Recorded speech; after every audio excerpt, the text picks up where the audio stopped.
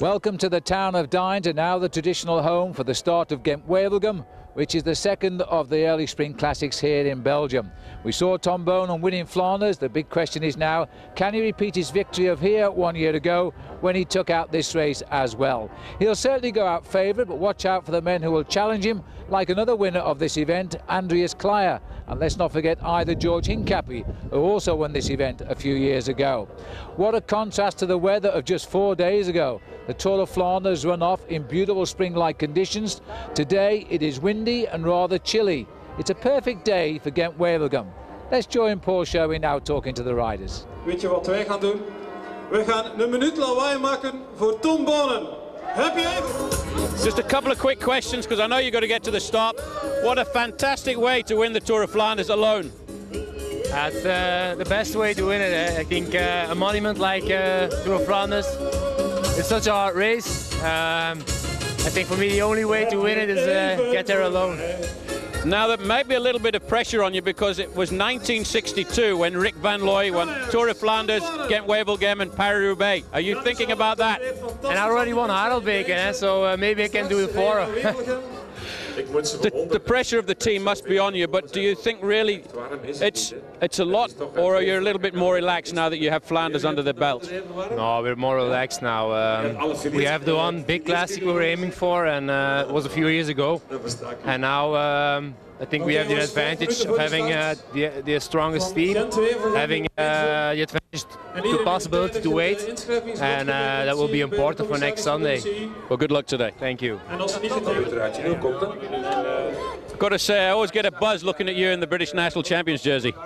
Yeah, it feels good actually. It's nice to ride the classics in a national champions jersey, and luckily enough, I've had two years of doing it, so um, it's good. It brings an extra bit of interest to all the races, and yeah, uh, gives you an extra bit of motivation. You know, you feel a bit more proud with the jersey you're wearing, and when it's hard, it gives you a little bit more motivation. So, can't be a bad thing just talking to George Hincapie about the fact that uh, he's a previous winner here, and he said, "Yeah, watch out for Roger Hammond because he's been in the top ten a couple of times." Yeah, it's, it's been my it's been, it was my original you know first breakthrough as a race actually. It's the first time I've gone in the first ten in a classic, so. Um, it's a, a, bit of a special race for me. And I used to live a, about a k and a half from the finish line when I first when I first turned up in Belgium. So, you know, it's the first real finish line of a big race that I ever saw. So yeah, it's, it's a little bit special for me. So I'm uh, have a little bit extra motivation. Big week for you and for George Hincapie. Yeah, that's it. But you know, um, Sunday and everything's finished, so we've got to get everything out by Sunday. So it's a big week. There's a lot of pressure, but you know, um, it's what we what we like doing. So you know, if you enjoy doing it, it's always easy to do. Okay, cheers, thanks. Tom, it's great to see you here at the start again, Wevelgem. This has always been regarded as a sprinter's race. With the tricolour jersey on your shoulders, a bit of motivation. Yeah, it is, huh? We're gonna see how it goes. It's uh, today is a bit different with the wind. It's uh, it's the opposite like we used to do. So uh, it's gonna be a funny race, I think. But still, it's a very nice ra race to win. Huh? It was interesting to note in the newspapers this morning. You said, well, Tom Boonen's like any other man. He just has two legs. Yeah, it is. Huh? Uh, they're very strong legs, but they're still two legs. So uh, it's also a different race. I said if you have to sprint against him in the Tour of Flanders, I'm beaten. But in the race like this, I think uh, we have a chance. It's nice to see you coming back into the sport because for a couple of years it looked as if you were going to have to retire, and you've come back in right at the top. Yeah, we, we, we, had, to, we had to take our time for two years. Now, now I feel that I'm back. Uh, back strong and, and, and, especially fast in the sprint. So it's, it's, it's good for me. And a special motivation for today's race? Yeah, I, uh, it's the first time in three or four years I feel I have the legs again to win it, so let's hope it goes well.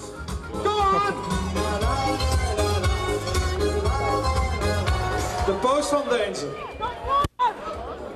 Het is plezant, hè Tom?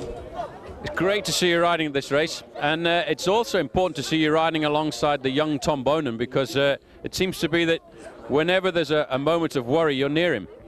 Yeah, I think it's uh, important uh, to have a good team, and uh, Yeah, I'm 30, uh, 34 years old now, so I have a lot of experience. So I think that's uh, getting more important uh, for a rider like me, and so I can help uh, Tom and the team uh, wherever they need me. A lot of people might have thought with the retirement of Johan Museeuw from the sport, Belgium would, would need to find somebody else, and already they're looking to Tom Boonen as the new lion. Yeah, he's uh, doing great things, and if you can win Tour of Flanders at 24 years old, uh, I think uh, you doesn't need to tell uh, tell more to to explain how good he is. Having won the Tour of Flanders, the team seems nice and relaxed now, going through to today's Gent, Wevelgem and Paris-Roubaix. Yeah, it's relaxed, but still we are nervous for today. Uh, today's a new race, and uh, we're very motivated to uh, to win again today. Good luck. We better get down to the start. Yeah, that's most important to to get it. okay. Well, Alan, a great start to the season, uh, but this race here at Gent-Wevelgem is the sort of race that should suit you. Yeah, it's going to be my first time racing here. Uh, looking at the, the profile and the past results from previous years, yeah, hopefully it goes well. It's always been regarded as a sprinter's race, but the difficult thing for the sprinters is you've got to get over to Kemmelberg a couple of times. That's the thing. That's the thing. Uh, and uh, position before the the Kemmelberg as well is going to be a you know a big part of the race, and yeah, hopefully can get in the front and have a few teammates around me as well, and uh, we'll see what happens at the end. Have you been over to Kemmelberg before? Yeah, uh, not the way of the race, but we we did three days Japan the other day, and in the States we went over it. So, uh, yeah, we'll see what happens. Nasty little climb, isn't it? yeah, very nasty. I'm lucky one of my roommates is a Dutch guy, Koen de Kort, so he's been telling me all about the roads. So, it's a, you know, when you're not don't know the roads, it's handy to have someone like that. Okay, good luck. Thanks, mate. Inderdaad, de minister-president heeft er nog geen één gemist in Deinzen. Andrea, Tour of Flanders was not so great for you, but this weekend, Paris-Roubaix is a special day for you.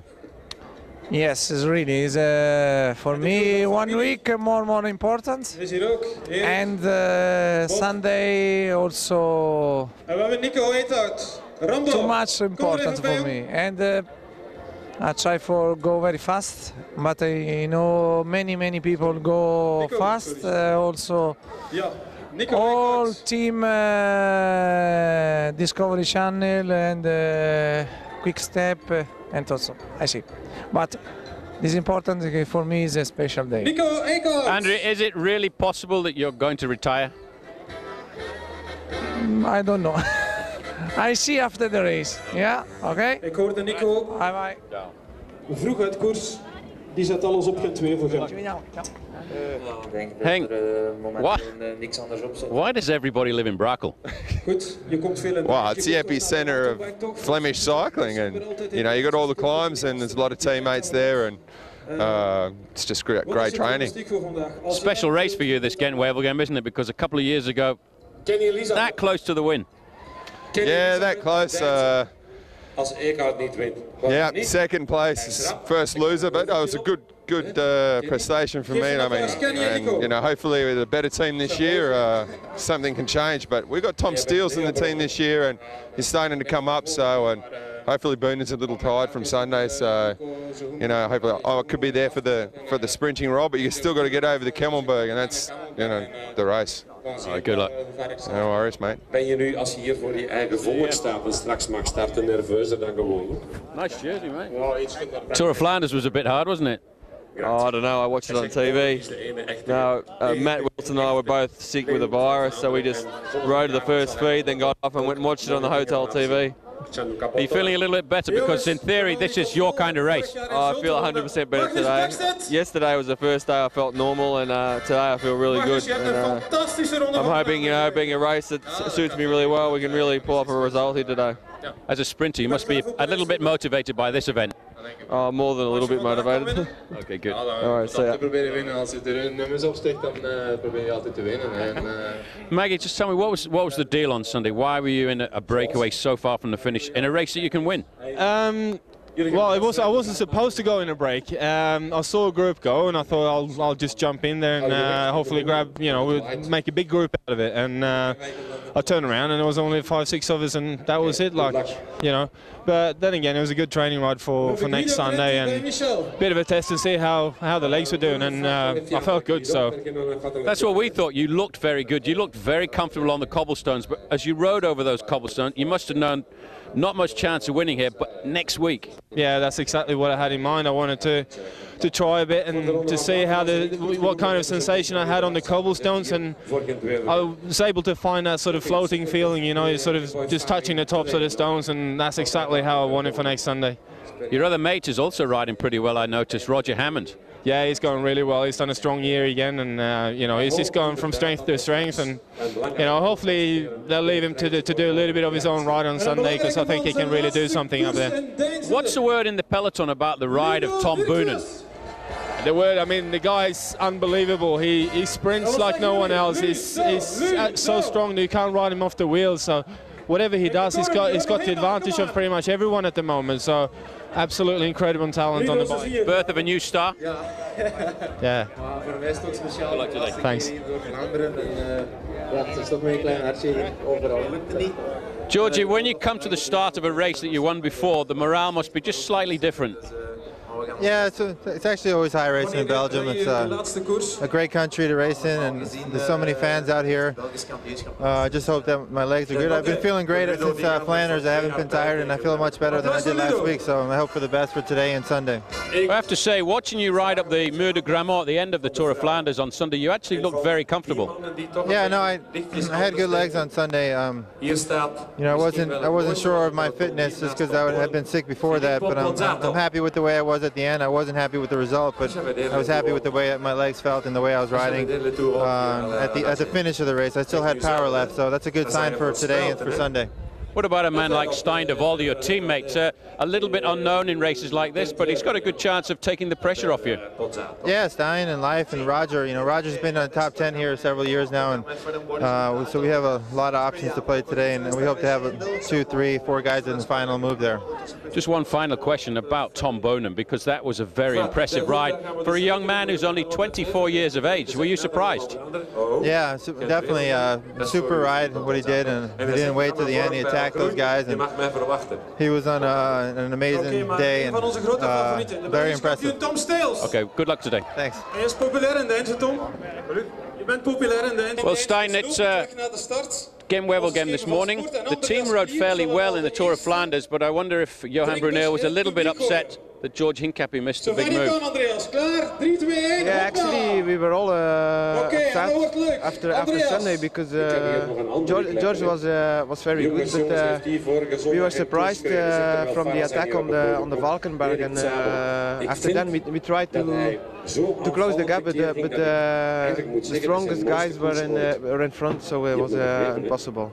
Today's a chance to make amends and maybe get a victory here in Game Gent-Wevelgem. It's a race that George Hincapie's won before. Yeah, George is in uh, very good condition right now, so uh, we try uh, to do something especially today and, and also Sunday Paris-Roubaix. But Stijn de Volder is also in pretty good condition because just recently he won the three days of La Panne and a win by you today could take the pressure off the team. Yeah, we, we try, but uh, yeah, we see. Uh, it would be nice, but uh, it's uh, difficult in, in races like this. Okay, well, good luck. Thank you. Well, Eric, a lot of people are putting you down as a big favourite today and maybe because of the way you rode uh, at the weekend in Tour of Flanders. Yeah, I have, I have a good day uh, last Sunday in Flanders, and uh, it was uh, uh, it was echt uh, echt fun. It was good to see you riding in a, a slightly different style because normally a sprinter holds back, but you were attacking all the time. Yeah, normally I I'm sitting uh, under pressure because I'm the head of the team in uh, some races. But uh, last Sunday we have uh, with Wesemann, uh, uh, last year's winner and a big favorite, and with Andreas Klier also. Uh, so I have a free role, and I want to help these guys a li little bit. But today, Gent-Wevelgem is much more of a race suited to Erik Zabel, and especially with a little bit of wind and just a few climbs towards the end. Yeah, uh, I was uh, a lot of times here, and mostly uh, I, I was uh, in the best 10, so today I try better. Let's hope there's no horses. Let's hope there's no horses. and no dogs and whatever. Thanks.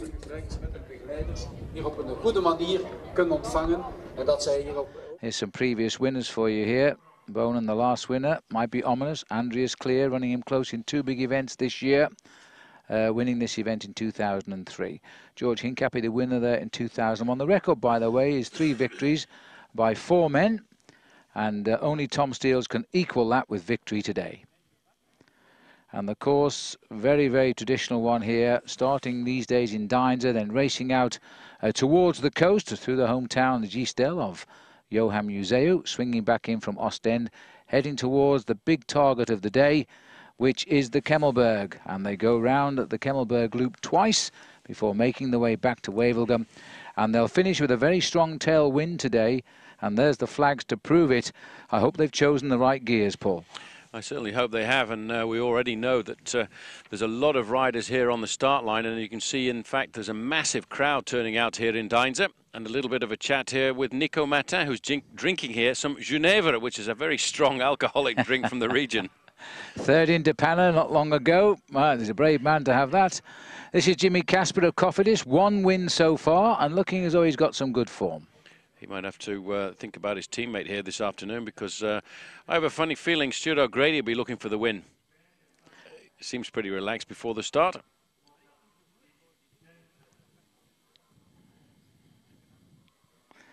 well, as they talk to Stuart, this is Sergei Ivanov here the former twice Russian champion. Uh, just alongside him, peeping in the picture, is Andreas Klier. And this is Juan Antonio Flecha, the Fassa Bortolo Spanish rider who's turning out to be a very good one-day classics man.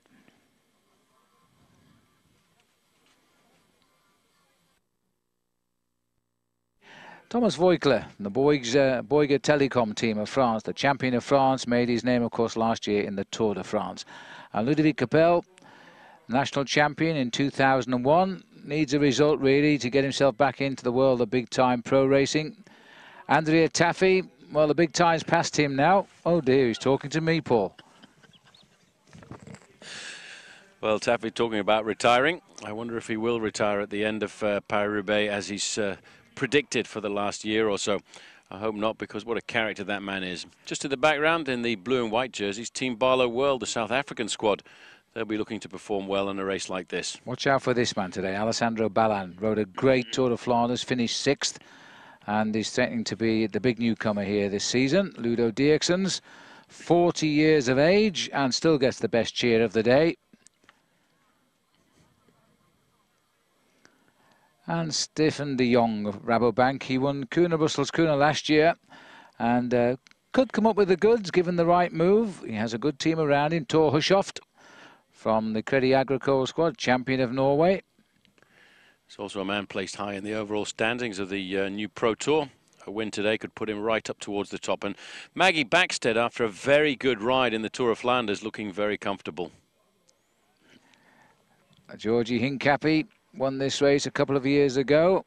And talking here to his teammate, Max van Heeswijk, who's also a likely candidate, but I think in the race today to help George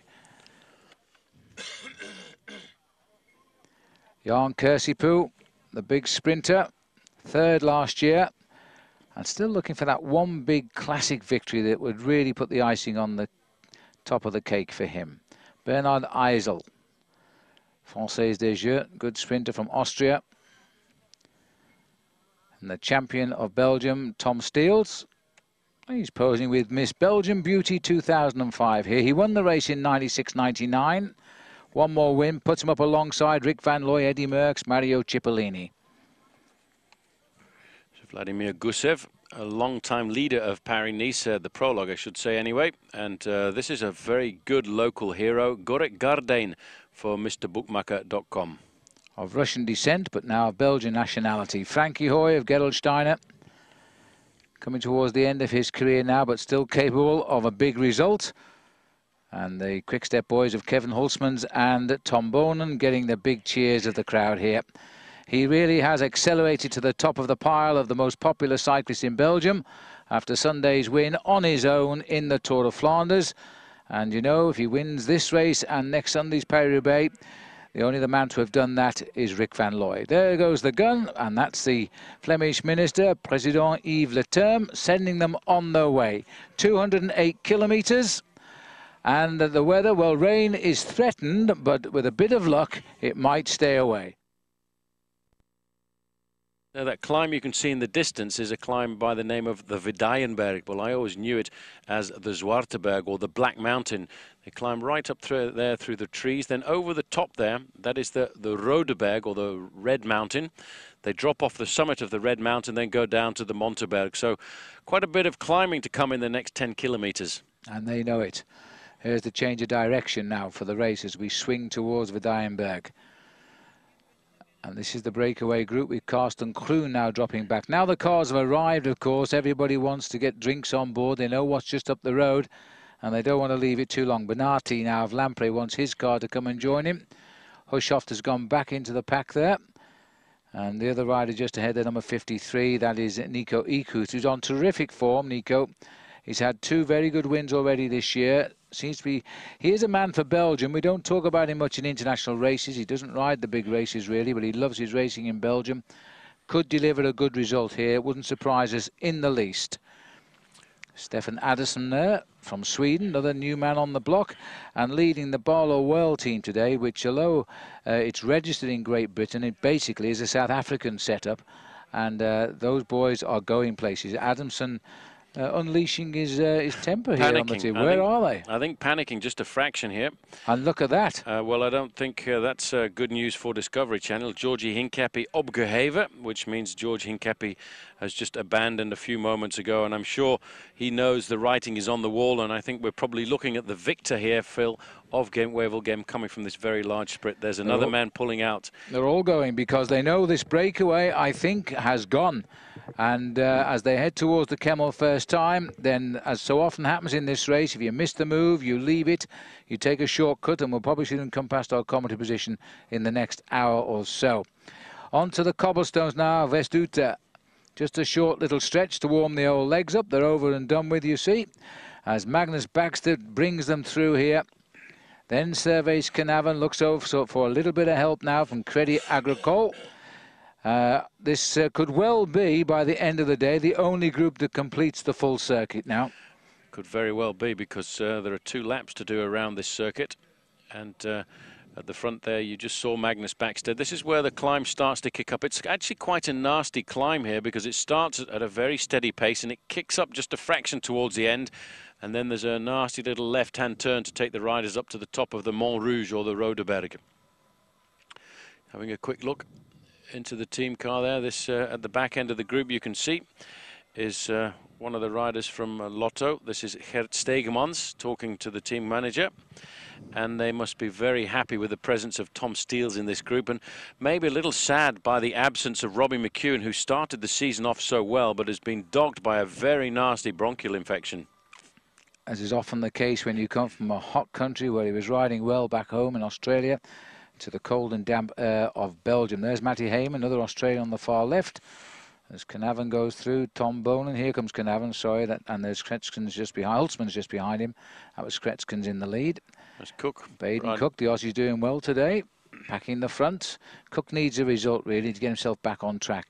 But Lotto need a result too, and they've got three men here, Steels, Vogels and Steegmans, and they are the quality for this type of race. They certainly are. You can see now that this climb is just starting to kick up a fraction.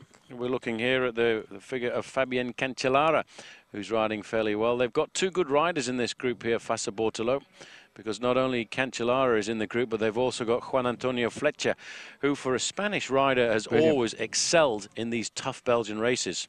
Always nice to see. He's become quite a popular boy, Juan Antonio Flecha, these last two years since he shot to fame by winning a stage of the Tour de France Marseille, I think it was. And um, Hushovd too, another powerful man on the far right. He'll have a little bit of a problem like Maggie Backstedt will on the Kemmelberg, but if they can hang on, it's a long run off the second time over the Kemmel to the finishing line. 67 kilometres to go. It's about 43 miles, something like that. And Cancellara, of course, uh, made his name in the Tour de France this year. There's the little details for you, the Vidaigneberg. It's uh, just under a kilometre long as an average grade, around about 1 in 10. Just swings around up here. And uh, in fact, at the top end of this climb, when the race turns to the left-hand side, if they were to turn right in 500 meters, they would be right at the French border because we're right on the borderline for a many number of kilometers here between France and Belgium. Lots of battles done in this part of the world in the First World War. And basically the Kemmelberg is one of the biggest memorials to one of those battles and a lot of Frenchmen perished in that battle there on the slopes of the Kemmelberg just for the sake of 100 meters. In fact, many, many years ago, the Kemmelberg was underwater, but the ocean's long since receded and left its mark. So the breakaway now looks like it is going to develop into what is the main peloton here. Approximately 25, 26 riders in the group. All the quick-step boys paying attention. They've got four riders here in Boonen, Cretskens, Hulsmans and Knaven. Everybody's going to watch Tom Boonen. Uh, but there are riders here with the capability of getting the better of him. And uh, one there, Lars Michaelsen, also keeping his nose clean at the front. I think with so many sprinters in the group, we can see an attack coming to try and split the field here. That's Henk Vogels there in second place. Because of the fact that there are so many top sprinters, I do feel that we'll try and see somebody at least try to split this group because if they go together to the finish line, they're basically handing over the chances to men like Tom Boonen and, of course, Tom Steels. There's the left-hand turn at the top of the climb. Turn to the right. It's France just over the road.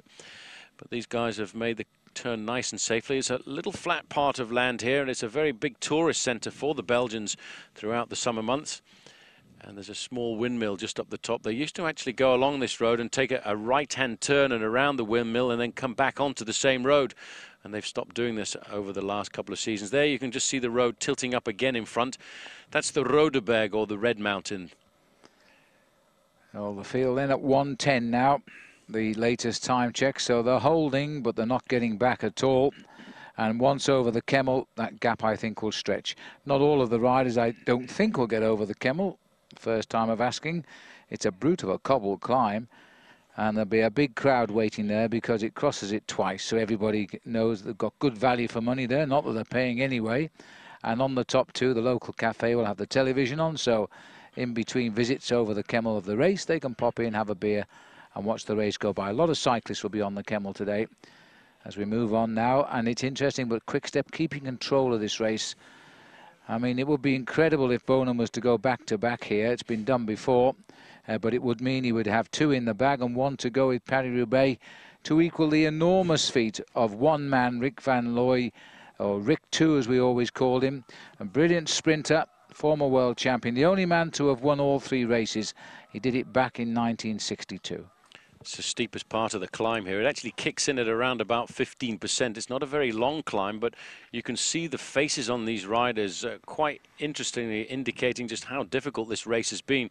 And in fact, after what was a big springtime day in the Tour of Flanders just three or four days ago, it has really changed completely to around about 15 degrees Celsius here just tagging onto the back there. Nico Eekhout, pretty much isolated. He's got to ride a very sensible tactical race over the next few kilometres because if he has a mechanical incident, he's got absolutely no chance of getting back on his own or getting back without any help from a teammate. And Quickstep are in a very powerful situation because they know they've got the ace man in the pack here. They've got Tom Boonen on board. And I think their tactics from now to the finish will be to try and keep this group as compact as possible because they will feel that Tom Boonen can finish it off quite easily for them. Well, keeping the pressure on as they freewheel down. There's the style of Henk Vogels, hands gripping those bars. It was downhill at 100 kilometres an hour when he had his nasty crash in the United States. And he's just uh, come off there at around about 80, 50 miles an hour. Brakes hard on for the right-hander.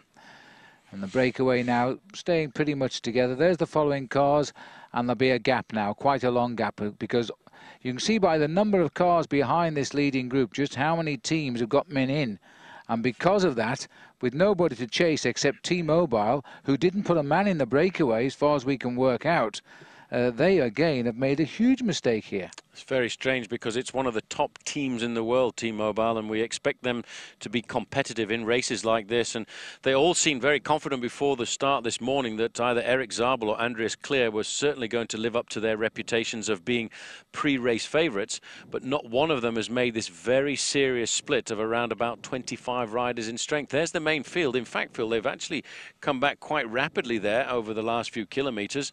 It is a little bit foreshortened by the fact that we're looking from a fairly high altitude from the helicopter here, but certainly they don't seem to have given up and they realise they've got uh, to really try and do something special if they want to save their race here this afternoon. Well, this is the second group that I've got 30 riders in that breakaway counting from the helicopter and I've only got 26 names so we could still stand to be surprised here by one or two big names in the group.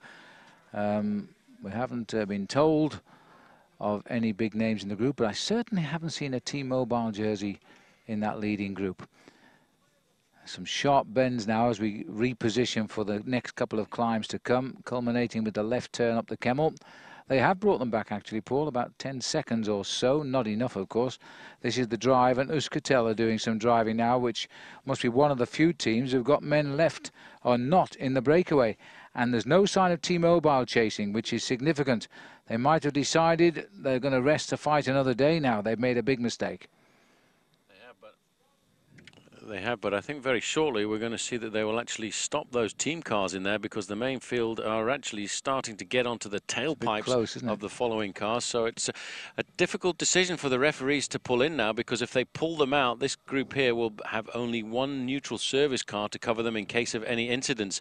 This is actually a slightly different approach here to the Monteberg as well. We've taken a left-hand turn a lot earlier than the small town of Lokeren now let's see just what happened here. Now this is uh, oh, certainly not the way country. to ride cyclocross. A little bit of cross country here by Crédit Agricole as they continue. Lost sight, maybe just nearly touched the wheel, took a little bit of a diversion for the better. Anyway, good bike handling. Back in the action again. And that was uh, Geoffroy Lequatre, or Jeffy the Fourth, who went off course there. Well, the team cars are still stuck in behind there, but at 50 seconds, I feel, Phil, that very shortly they're going to have to stop those team cars. This is a new approach to the Monteberg. That's the right-hand bend, but straight in front of you there, in fact, is the Kemmelberg. What the race is going to do today, taking this right-hand turn, it's going to go around the bottom of the Kemmelberg to come up the Monteberg. Now, there you can see the referee stopping all the cars because the gap has come inside of the the one minute mark. Mm. 1.3 kilometres to the Monteberg. It might be just that little bit too late. And in fact, the team cars have decided to ignore the referee and uh, pulled up again to try and make sure that they keep their riders covered for as long as possible. But no prisoners being taken in that peloton at all. The pressure is on to try and pull it back, I think, from T-Mobile's point of view. Well, this is a huge problem for the referees. You can see how narrow the roads are here, and this is the way the race will continue for a while. Once over the Kemmel, they get marginally wilder for, wider for a bit, but that gap is coming down. There's one or two riders sense they might have the peloton here as they're closing it to 48 seconds. 39 miles to go to the finish. And uh, 30 riders, I thought, about to decide this race, but maybe uh, a desperate attempt up the up the big climb. That looks like Rolf Aldag, but was, I thought he'd given up. Uh, so it might be uh, this new boy looks like him in the breakaway, in the chasing group rather, this new uh, new rider on the on the T-Mobile squad. He rode very, very well in the Tour of Flanders, first time we'd seen him in action there.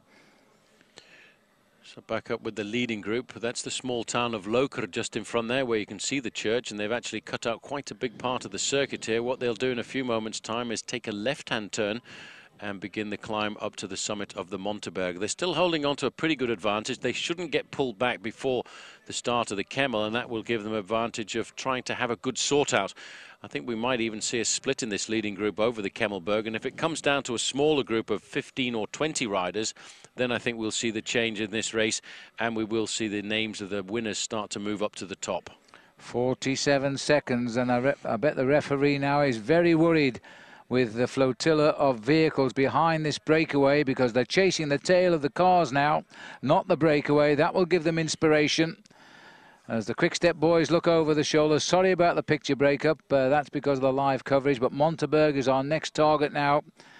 just uh, less than a kilometre. It's only 296 metres, short, stabby little climb, very good road surface, and it's the stepping stone to the Kemmel.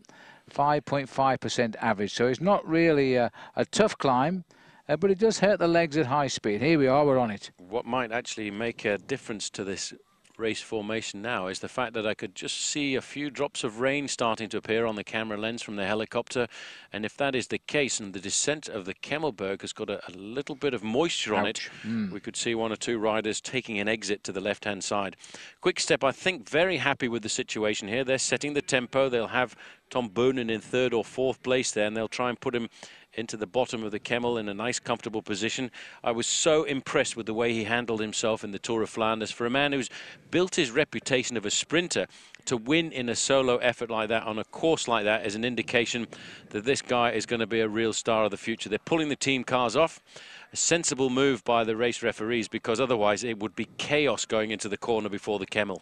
Wow, that was lucky to get them over on this uh, little stretch of road just before we hit the Kemmelberg and this is some hard riding being done now. Chances are the gap will open now because there'll be a vacuum form between this break and the chasing bunch.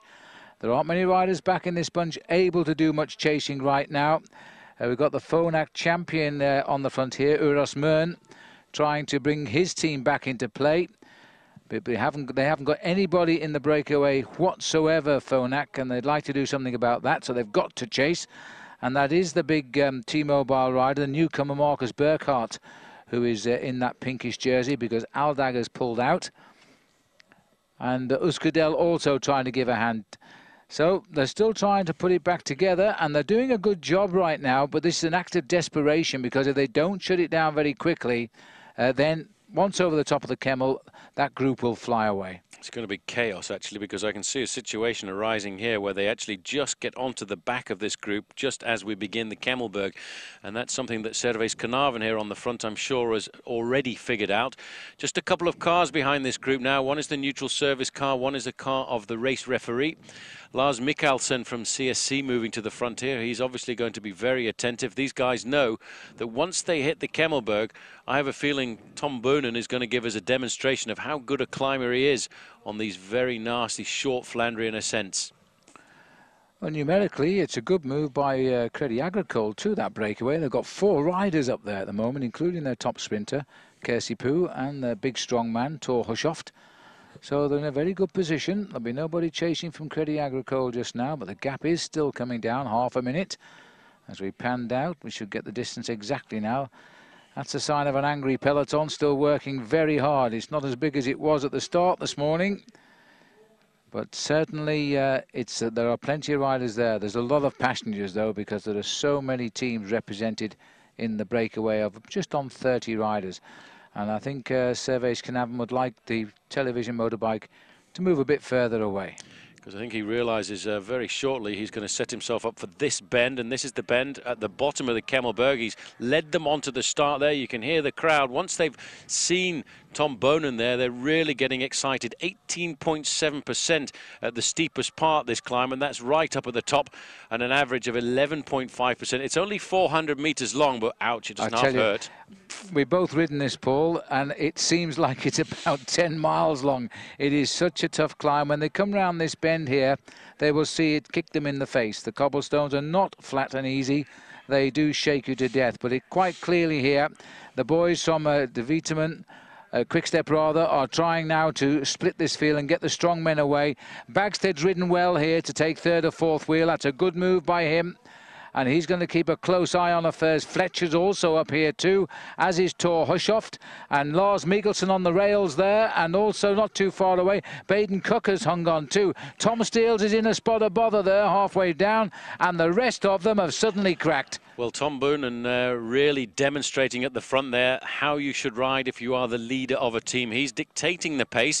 Tom Steels, on the other hand, has never really much enjoyed this climb at all, but he's done very well to keep himself just about in contact. And I'm very impressed there with the ride of Baden Cooke, who certainly now is giving himself a very good chance of getting himself a very big win. Well, it's short, sharp, and very nasty. The leaders are over the top, and they will descend very quickly here. It is a very, very treacherous descent. There's Steels going over now.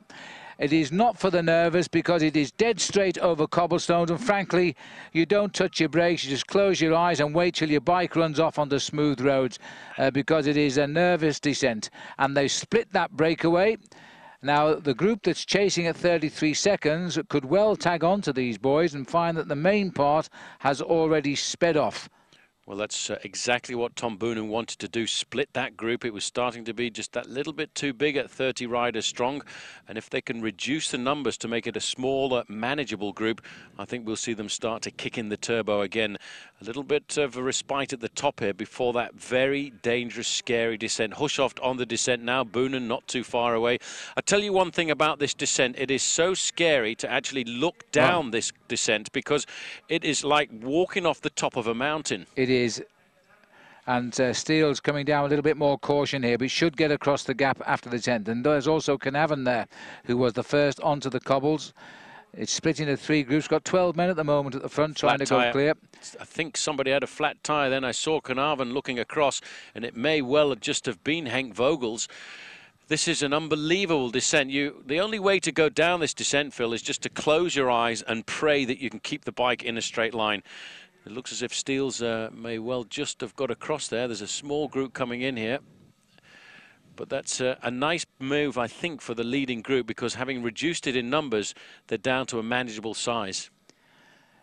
Now, as we pan right, I thought there were about 12 riders going clear. I'm back with the leaders here now. They swelled a little bit, I think. There's more than 12 riders got themselves up here just now. And Tony just tagged, yeah, Tony Cruz has made the split. He's the only Discovery man. He's got to fly the flag now. The captain's uh, quit the ship, and so he's going to have to see if he can get a result for Discovery.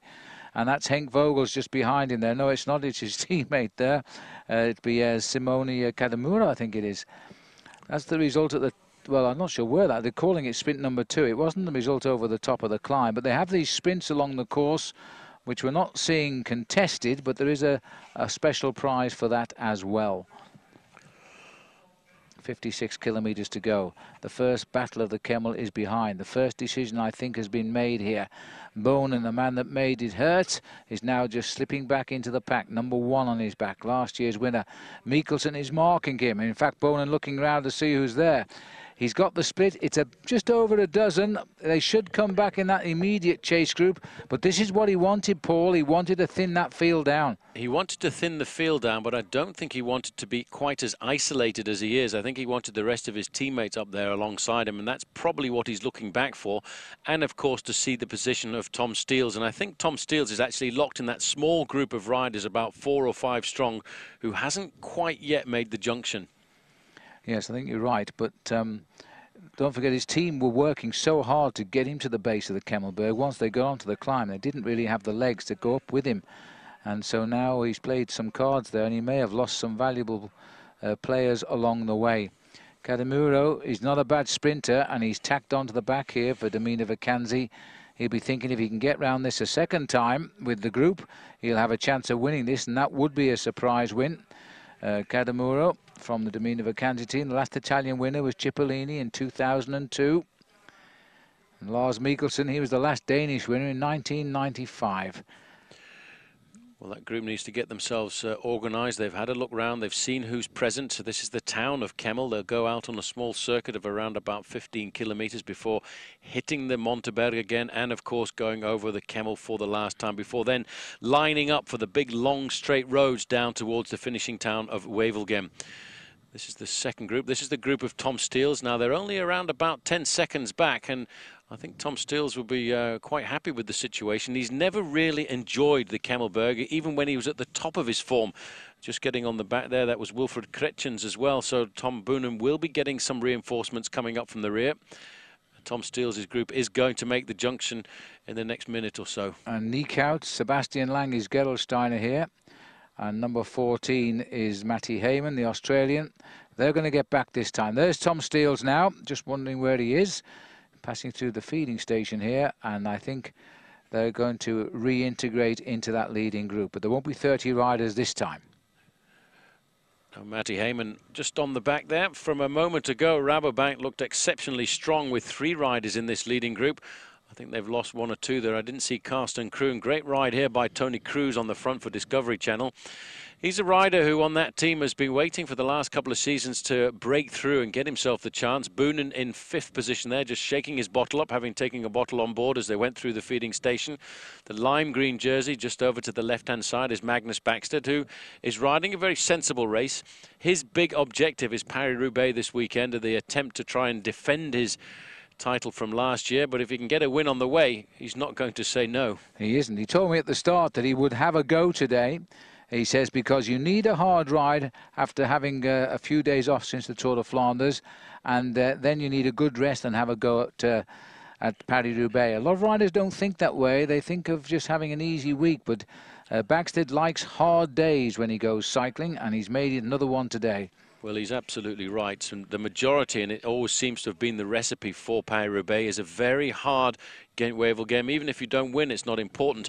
Then a good day over the cobblestones on the Thursday, rest up on Friday and Saturday, then get out for the Queen of the Classics on Sunday. That's the remnants of the group. And I think that might be the front end now of riders escaping from the peloton because it looks as if there are one or two pink jerseys in there of T-Mobile. Well, they're still a long way behind. It's 38 seconds, but it's now a long way in reality, I think. Hank Vogels. Henk Vogels, and uh, let's have a look over. This is the remerger. So Hank must have been left there. Yeah, Henk, I think, got caught out. He probably did quite a bit of work to try and make sure that Tom Steels uh, started that climb in good position. There is Servais Knaven. He was the man who basically placed Tom Boonen in the ideal position going into the corner at the bottom of the Kemmelberg. His job done now. He will just defend here for the next few kilometres. And Steven de Jongh also a victim of the Kemmelberg first time round. And so to Stefan Adamsson there of Barloworld. So they're bringing past back uh, to the upcoming uh, head of the peloton about 12, 13 riders. It may have swelled a little bit. It might be 16 boys at the front just now. Still a big gap, though, 36 seconds. The team cars are moving their way forward, trying to get out of the way, trying to keep everybody covered. As we pull back, we get a chance to see just where the main field is, and it's uh, still a fairly large main field there. There are all the team cars behind them. I would say that that third group on the road is uh, hovering at around about 45 seconds. But once they join that group in front there, I think we'll see a general slowing down for a few kilometres. Well, let's have a look. Actually, still Cretskens now has got to the front. This is the chase group, I beg your pardon. This is it's Hulsmans on the right. It's the chase group here with Adamsson taking them through. And it's uh, well, I'm a little bit of lethargy settling in there now. If these boys could push home the advantage they've got, I think they would uh, move ahead. This is a big chance for Antonio Cruz, this, uh, to fly the flag for the American Discovery team. He's on his own. He should make use of the stronger men in the group. Uh, but it's a good chance for him to excel in his own right. Nico Eeckhout, who's on form but sat at the back of that break and got split off at the Kemmelberg, he's pulled a smart one because he's just come back onto this leading group. Well, he has to ride very sensibly because, as I said just before, he's completely on his own. He's got no teammates, no friends in the group. He has to make sure that he uh, conserves as much energy as possible because if this group splits up again towards the end, he's going to have to cover the moves all on his own. And there's Tom Steels. He had to come across as well, but now there are fewer riders up here and they know if Tom can get over the Kemmel next time, he's in with a real shout of becoming another man to have won this race on three occasions. There's a view from the base of the Kemmelberg, or the cobblestones on the way down. Just see the pounding the bike takes, never mind the body. It really is a, a horrific descent, dead straight, and uh, you fly down it. You just got to hope you don't flat on the way. You certainly want to make sure that uh, both tyres are kept uh, nice and under pressure because if you have a flat tyre on that descent, it really is quite scary. So this is the composition now. Boonen, Cretskens, Hulsmans, three riders from Quickstep. Hayman, Kroon in there for Rabobank. Cruz, Bennati, Eeckhout. Breschel and Michaelsen, two riders there as well. And uh, Tom Steels has got a teammate in the group with him, Nico Mattan. That could be very important down towards the end. And in fact, uh, they're saying that that's Fabio Baldato in the leading group there, but I'm pretty sure it in fact uh, wasn't Baldato. Well, we've never had his name, but there were one or two names that we never got in that breakaway. Mattan was one of them. First time we've seen him mentioned. I'm pretty sure, in fact, it is Fabian Cancellara. Well, he certainly was in the original split, that's for sure. In the group as well, of course, as Juan Antonio Flecha. Once again, they're approaching the uh, the difficult climb of Vidaigneberg, or the, the Black Mountain. The gap hovering at three quarters of a minute there. And uh, once again, you know, Quick Step Phil putting themselves into a pretty good situation here because they've got a lot of riders there. Baden Cooke has ridden very well. He too is one of those riders, riders who is isolated. And uh, he's going to have to take on board drinks and keep himself nice and covered. And if they don't pay any attention to Baden Cooke, he's the kind of guy who could cause mm. a big surprise because he seemed very confident at the start this morning. And he's got a very good turn of speed. After all, he was the winner of the points jersey in the Tour de France a couple of years ago. Yes, he's never had a great result in this race either. Uh, and yet he is a fairly good one-day bike rider. But he's got his drink so he can settle back in. And he, he wasn't in trouble, I don't think, on the Kemmel last time around. He looked he pretty was, uh, pretty good. He was very comfortable there. He's taking on board a drink called Extran, which is a high-energy drink. That little carton that he was about to drink there was the equivalent to about six or seven pieces of bread but it goes in in a very concentrated style. A good thing to take about this stage of the race with 50 kilometers or about an hour and 10 minutes left of racing. That'll keep his energy levels topped up and they'll be topped up just before he gets to the Kemmelberg next time. There's Tony Cruz at the back there for Discovery. Tom Steels is looking pretty good. I know he doesn't like the Kemmelberg, but he rode over it very sensibly and he's got the benefit of having won this race in 96 and 99 there he is with his mouth open. Just does enough to say uh, I'm going through I'm doing my bit of the pacemaking but making no effort at all. Through and off is all he's doing. And uh, Lang the Gerolsteiner rider goes through and off. And then Hulsmans and here comes Anthony Cruz. And this is a nice little working group now. They're settling in as they make their way round to the Kemmel for the second time. And then those that survive over the top of the Kemmel can start to think of how they're going to finish in Wevelgem, where there's a strong tail wind on at the moment. And the magnolia tree in uh, in the city centre here, in the town centre, is uh, absolutely beautiful today in full spring blossom, getting blown about a bit by the tail wind. That's Cookie getting his uh, drink on board. There's Nico Eeckhout. Now watch out for him, as you said, Phil. He's had a pretty good start to his season. And there is Nico Mattan, who was uh, looking to do a good ride in the Tour of Flanders. He's a very good bike rider when it comes to these one-day races. Maggie Backstedt is going to be very happy with being in this situation. Now he can also take a little bit of a back seat because I think over the next few kilometres we'll start to see a lot more tactical manoeuvring taking place. Uh, you get a glance there of Lars Michaelsen of Team CSC, the former winner of this event. Boonen not afraid at all to do no. any work at the front of the group. He did, and his team did a lot of work in the Tour of Flanders, and I actually thought last Sunday, Phil, that they were doing too much work too early, but they obviously knew something we didn't know. Quick count there, 20 riders surviving from the 30 that started over the Kemmel, so that's just knocked a third of them out. These are the chasers, and we're going back down the road almost a minute here. Still Uros Murn setting the pace at the front, but it looks as though these boys now and there's, a, there's quite a few pink jerseys come through here from T-Mobile. It's amazing. This was the top team for years at this time of the season, and they haven't placed a man in that front group. No sign of Zabel. Uh, we, we know that Aldagger's packed in, but it wouldn't surprise me if Eric also has now decided to ride home and forget this for the day because he's missed the move as the way he's feeling. But Phonak are trying to pull something out of this, but they're losing ground as we speak. It's now out to 54 seconds. So poor old Robbie Hunter, who's had a rotten start in his classic campaign. He's had so many uh, mechanical problems and falls at the wrong time. He had them again in uh, in the Tour of Flanders, and now he's missed the breakaway here in Gent-Wevelgem. So he's going to play everything on a great ride in Paris-Roubaix on Sunday. A lot of riders are going to count on doing a good performance in Paris-Roubaix. This group is not organised at all. You've got just a couple of riders from T-Mobile trying to do some of the pacemaking. But this group has so many passengers because there's a lot of riders in that leading group of 20. So most of the guys in this group now have absolutely no reason at all to share the pacemaking at the front and to pick up the chase. This is Westalter. It's a, a which means cobblestones around about 400 meters.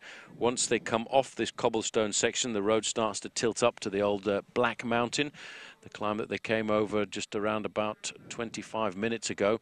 Kicks up towards the top, gets just that little bit more difficult. Then it's the Red Mountain. Then in and around the small roads in the Heuvelland before going over the Kemmelberg for the final time. And I think they'll be quite happy to see and get the information that the time gap has again crept up to almost the one minute mark. Hulsmans and Cretskens seem to be the two boys who got back. Servais Knaven hasn't rejoined here for uh, for the team leader, Boonen. But this is beginning to shape very nicely for Boonen now. And he's shown us his confidence and his penchant for riding these races. Wouldn't surprise me if he tries for another lone win if he keeps on with this sort of form. He said his condition is excellent, full of confidence. People are saying he has the mentality of one Eddy Merckx. And we all know what the Cannibal was like when he sensed victory. Merckx himself has won this race on three occasions too, in 67, 70 and 73 for Eddy. Uh, but nobody's won it four times yet. This is the Achtervolgers, the, the following group, the second group on the road. They're still holding it at around about the one minute margin. And they're still hoping they can do something special and pull this group back together if they can. But it's a long, hard chase now. On the front there, Gregory Rast, the Swiss national champion. Uros Murn is moving up there as well. And uh, I haven't seen Robbie Hunter in this group, but I wonder if that may be why these guys are trying to move forward to, to whip up the pacemaking because they feel that uh, they've got a chance of getting the sprint towards the end. This is the team that was brought into the Pro Tour right at the very last moment. At one time, there were only 19 official teams in the Pro Tour. Phonak finally getting position number 20. I suppose you'd have to say at the 12th hour. Indeed, you would. Marcus Burghardt, the T-Mobile boy there making a very impressive uh, appearance this last couple of days of racing for the T-Mobile squad. Now we're heading up to the Vidaigneberg again and then we're on our way to the Kemmel and I think there'll be a major attack on the Kemmel this time and I think Boonen can be expected to uh, head up the charge and he might get marked out by one or two surprises. But this is the leading group, and Tom Steels will want to hang on there because if he he believes uh, he can do something if it is possible, but he's got to get to the finish to do it. Just looking here at Jaan Kirsipuu. I'm surprised he's still there, to be absolutely honest. Jan doesn't like uh, these hills going up, but if he gets over the top, he'll be a serious contender for the win but he seems to be a different bike rider this year, a lot more happy with his team. Uh, he's very comfortable, saw him racing in the early part of the season in the Tour Down Under, and I think he feels uh, a lot more at home with Crédit Agricole, and he may well try to give them uh, victory here. As you said, Phil, he's been one of the most consistent riders at the start of the season over the last number of years, but he's never really had himself that big magical win. And he probably realizes that, and he's going to try and stay in contact over the slopes of the Kemmelberg last time as we see Big Maggie on the frontier, Backstedt setting the tempo. He really is uh, giving himself a full tryout, and if you want to hurt your body just a little bit before the upcoming Queen of the Classics Paris-Roubaix, not a bad way to do it, riding on the front of the breakaway. No, it isn't. And we've got the first, second and third place finisher in this race last year in this breakaway. Boonen, Backstedt and Kirsipuu. And uh, it could well be that they could repeat that. I wonder what the odds would be on that happening. Uh, but Kirsipuu now has won 121 races in a career which started back in 1992. This is Murn as he continues to set the pace with not a lot of help, I must say, as they look to be uh, slowly uh, getting back into contention, just like they did the previous lap, uh, just in time to get blown away again on the big climb. Could be a hard chase, but they have managed again to nail it back to the half a minute mark. This they haven't given up been, at all, have they? This has really been a yo-yo. It's mm. been up to a minute, back down to half a half minute, back out again, and now it's again starting to be reduced in numbers. Uh, this is a serious move here by Team Phonak. They realise they have to do something special because there's a lot depending on their performances here. Thomas Voeckler there, just over to the left-hand side. Nice to see the French national champion. This is the top of the Vidania or the Black Mountain. We'd love to see a French winner. We never had one in this race since Philippe Gaumont back in 1997, who left the sport under a cloud last year. These are the leaders now as we look down on a group of some 20 riders. Set fair for the Kemmel now.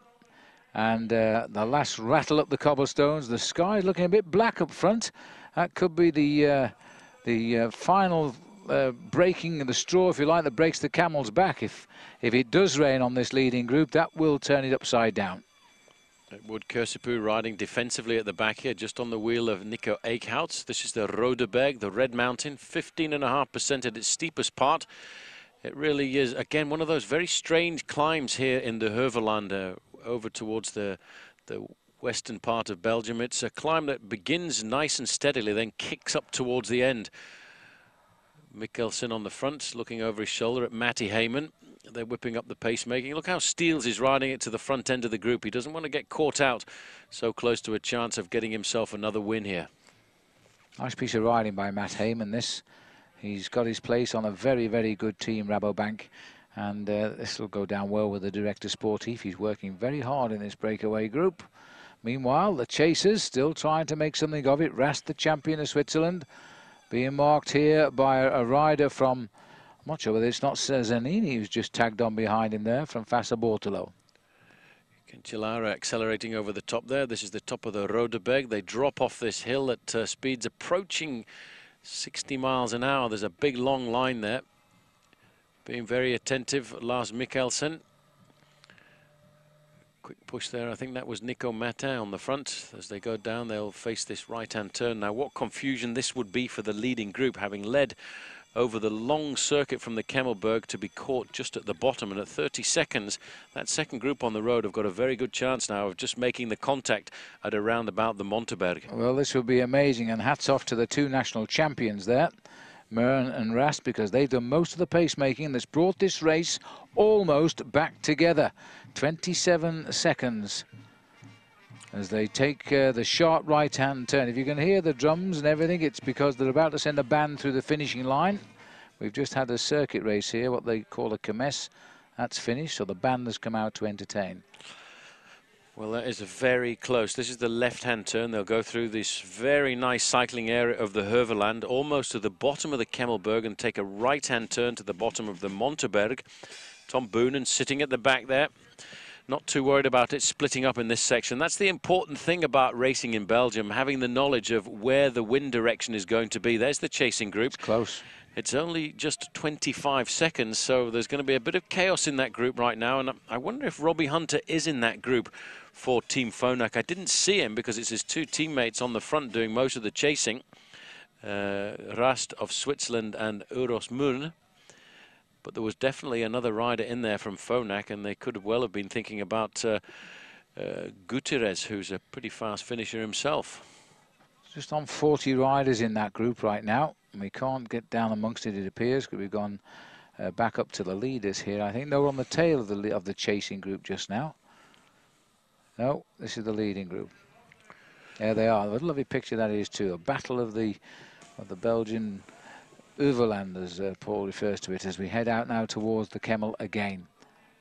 Tiny roads, these very small. It's almost impossible to get three or four riders across. That's the leading group there. Tom Boonen still sitting four or five riders from the back. Not at all worried. I think we'll see. Um, that tells me he might be planning a little ascent of the Kemmelberg. I think you could be right. If they can survive to the Kemmelberg, he'd probably try and split that group going over here. Now, the situation is going to be that that second group has chased so hard for around about 15 kilometres that they will have to do something pretty special if they're going to stay in contact with the front group. And most of the work has been done by the riders from Team Phonak, but they're now getting a bit of assistance coming through from the T-Mobile squad, and that's Marcus Burghardt.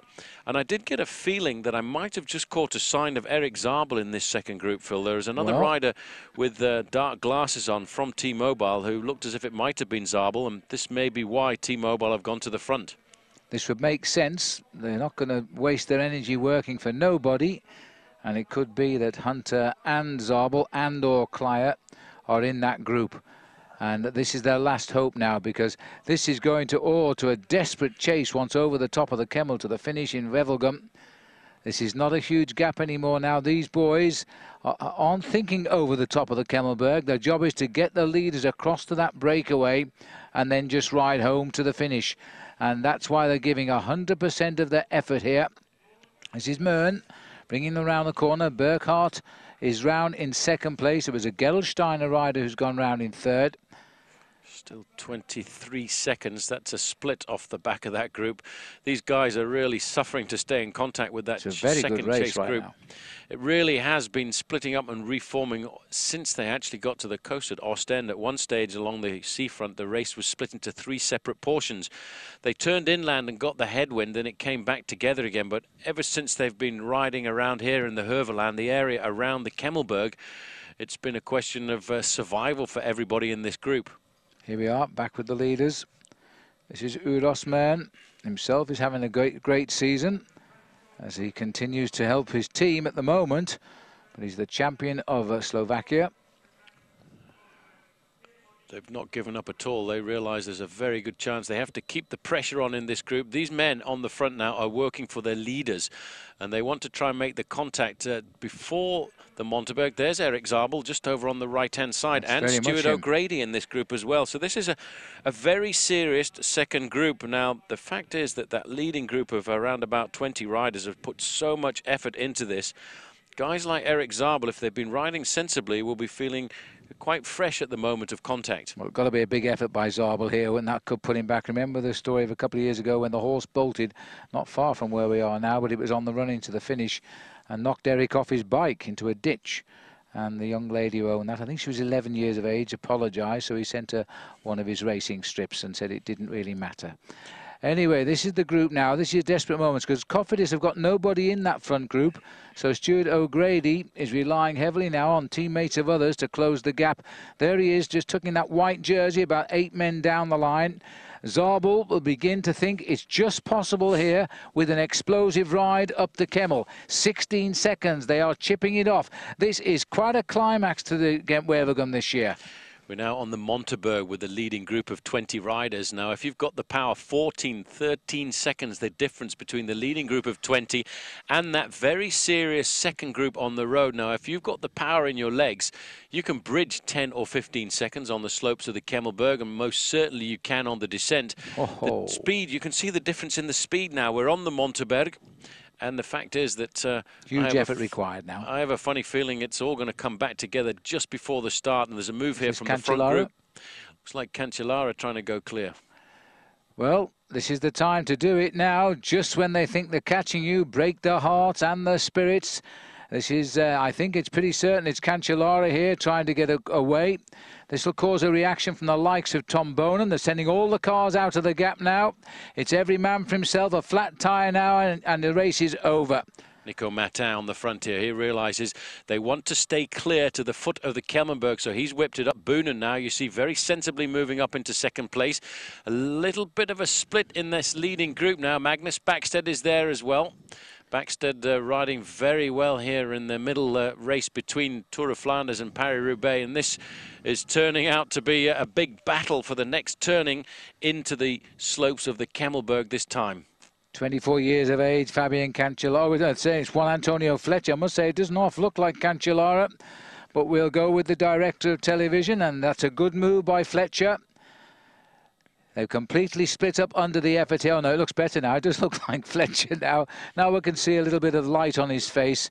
It looks on our pictures as though somebody's painted the sky, but in fact, uh, this is a very, very good move. This man one day is going to win a big one-day race because he is such a good bike rider, and it's very unusual for the Spanish to provide us with good classic one-day riders. Boonen may be suffering here from uh, too much attention, I think. This is the attack from Flecha. But Boonen has to take on everybody now. He's become the man to beat uh, at this time of the year, and he's not going to get a lot of help. Flecha now out on his own. He's going to be the first man to take the left-hand turn into the bottom of the Kemmelberg. And there's a reaction coming on behind him as well. They've fanned across the road now. The, the reason here is that Tom Boonen doesn't have any teammates left, but Maggie Backstedt has seen the danger there in the lime green jersey of Liquigas. A slight split over the next group, and then the main field is still hovering at around about 10 to 15 seconds. There you can get a chance to see the whole of the race in one straight. Well, this is an intriguing Gent-Wevelgem this year now. The sky gets darker. But one, uh, Mr. Flecha has gone clear. No wins for him this year. Had a couple of wins last year. Notably, he finished seventh in this race last year. So he knows what it's like to survive. There is a spot on the camera lens there. It could be rain, or it just might be water spraying off the riders. A bit of sweat, maybe. But Flecha has made a gamble here to try and get to the Kemmelberg first. Well, he's done that because here we go. Now, where will he be once we get over the top of the climb? Round the left-hander. And now It's all or nothing here for Flecha. He wants to get over the top and try and ride for home. It won't be easy. He's got some 36 kilometres to go when he's over the summit. It's a long way to go to the finish for a man on his own, especially in these conditions. I know it is a slight tailwind, but I think what he's expecting here is to see a split from the front end of this group and a small, solid group forming at the front end of the race. I wouldn't be surprised to see Tom Boonen accelerating, although Boonen is there in about fourth or fifth position. He must realise at this point he's got to do something special if he wants to win Gent Wevelgem for a second year in succession. Hushovd there at the front of the group. Strong man. Very strong bike rider. Just behind him, another Scandinavian as well. That's Magnus Backstedt. But what a great move and what power from Juan Antonio Flecha. Well, good for him too. He's 27 years of age now, Flecha, but he's a good single-day rider. Won a stage of the Tour de France. He was 13th last year in Paris-Roubaix, as well as finishing seventh in this race. And it looks like Jan, Jan Kirsipuu is just hanging on, and Jan knows he's got to hold it here. He's not too far off the back, should be good enough to rejoin. He packs the power in the sprint. He got in third place last year and the two other riders who finished ahead of him are ahead of him on the Kemmel. Little bit of a slip of the gears there by Flecha. He's put it to rights, and he's struggling now, but he's coming up to the summit. Now he's going to have to, he's just looked under his arm there to see if there's anybody coming. He's got a good gap. He's lost none of his lead on the climb whatsoever. As Tor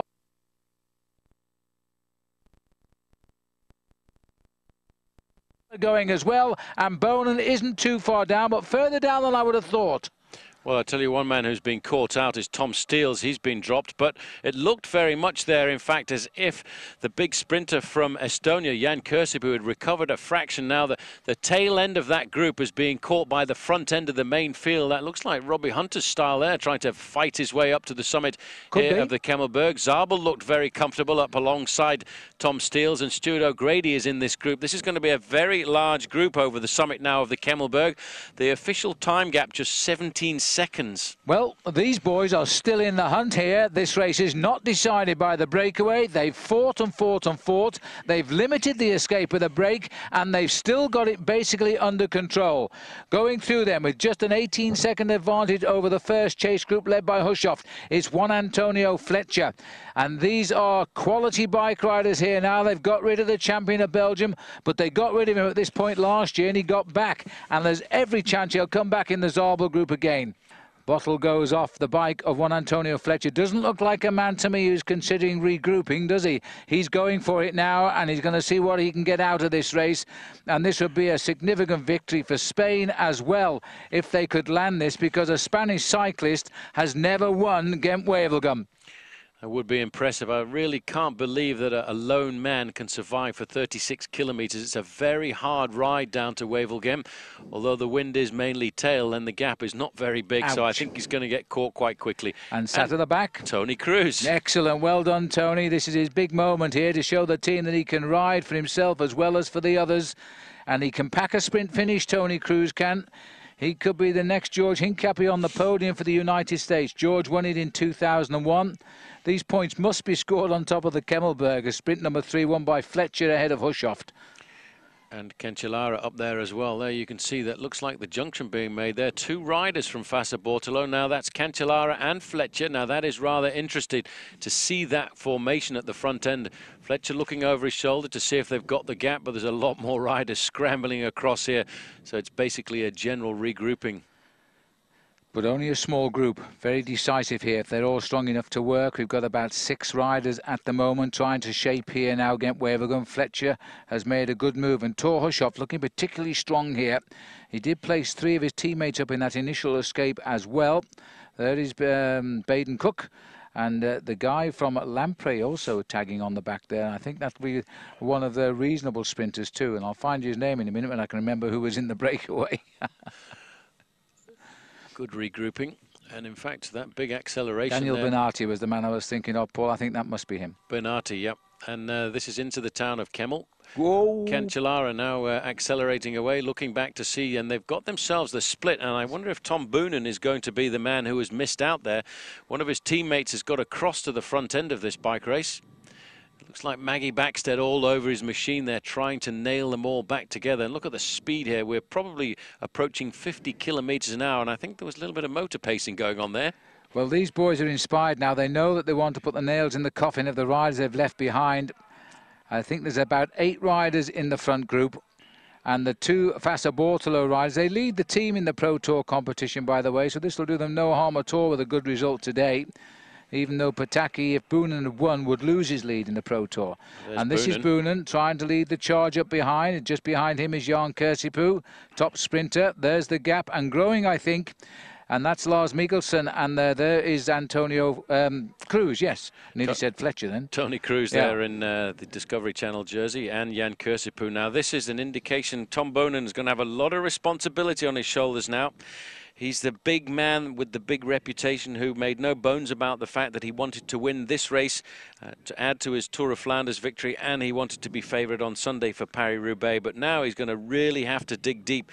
He's going to have to prove that he's a great champion now and take the responsibility of pulling that group back. And they will feel confident with the fact that they've got rid of Boonen and they will feel that 15 seconds might just be enough to take them down to the finish. He must be wondering how on earth he found himself in this chase group, you know, when you think about it, because he seeming before the Kemmel had everything under control.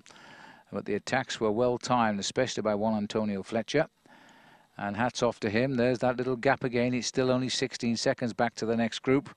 As the riders continue here, number 195 is Flecha. Now he's got the team around him. And uh, is that Filippo Pozzato? It is. I think he was in the break all the time. There were some numbers we never got, and that's Pizzato, who uh, many people linked as a favourite for Tour of Flanders. They might have been just four days too soon. This could be his race today. Youngest rider in the Tour de France last year and won a stage. And Cookie is in that leading group. There he is in the uh, jersey. So this is a very good move by Baden Cooke. And it's actually been a couple of years, Phil, since Cookie has really ridden at the top end of the sport. Kop van der Wegstrijd on the left-hand side, 15 seconds further back, the Achtervolkers, the chasing group. Two riders from Quick Step in the group. It looks like Cretskens is up there alongside Tom Boonen. And I'm surprised to see, in fact, that Pozzato is going through there. I would have thought team orders would have been sit on the back because the top man, the cop man, is not too far behind. No, there's eight men has made this move just now. As Flecha now takes a breather at the back, and uh, the Lampre rider there also uh, having a little bit of a breather just now is Daniele Bennati, and he also can uh, pack a sprint finish if uh, it comes his way. This would be a very difficult sprint to judge.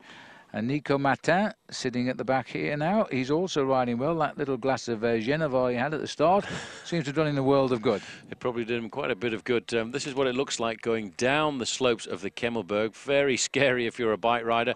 Around about 65 kilometers an hour, but your eyes are bouncing up and down in your eyeball sockets, and you Horrible. can hardly see a thing.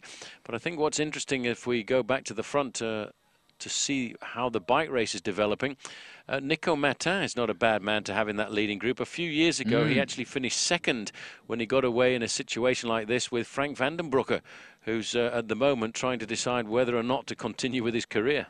expecting him to turn up at Paris-Roubaix for his first race of the year. Aren't many riders can say that's their first race of the year, and uh, I would think not a wise decision. But we'll find out on Sunday.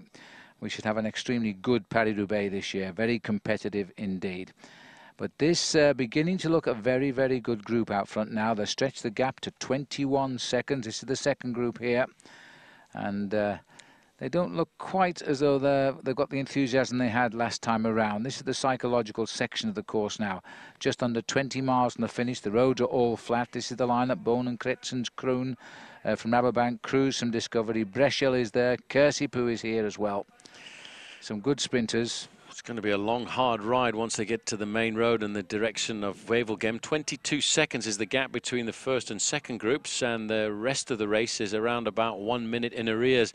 Tony Cruz, uh, I don't think will do too much to the success of this breakaway. He's very much on a defensive role. He's got not got really very much at all to lose. All he can think about is a high position for himself and Team Discovery. They finished seventh with George Hincapie in the Tour of Flanders on Sunday, keeping them pretty high up in the overall classification of the new Pro Tour. But Tom Boonen here, Phil, is under a serious amount of pressure, and I'm really not sure how he got caught out. I'm not either. With those teammates, he, I think he believed himself he had it all sewn up, and that uh, overconfidence can sometimes work against you. And uh, Cretskens, who struggled earlier on at the Kemmel, has now got himself into the front group. And uh, Bone left to chase. And they might even Uh, if Boonen is going well, they might even tell Cretskens to drop back, but we'll see. Pozzato, Bennati, Hushovd, Mattan, Cancellara, Cooke and Backstedt. Oh, so the, uh, isn't in the front group. Sorry, he's in the second group. He's in the second group yeah. with Tom Boonen. Backstedt is here. Pozzato is a man who uh, certainly could create the big surprise here for Quick Step. Uh, Baden Cooke is looking a lot more comfortable than I've seen him look for a couple of seasons. It was two years ago that he got himself the win in the green jersey competition at the Tour de France, and since then he's really been battling. In fact, um, despite the fact that he didn't have a great season last year, he won himself uh, 11 races, but a lot of those were really towards the end of the season. From his successes in the early season, three days of La Panna, he didn't do very much at all until the end of the year in the Sun Tour in Australia. That's right. A lot of riders try to salvage this season by riding in the Sun Tour in Australia. Number 195 is the man who started the move, Flecha. This is the next group. These are the leaders, well. The next group uh, just coming into our view now. So that uh, 26 and 53, the two groups are spread. I think we can forget the 53. 26 might have a chance.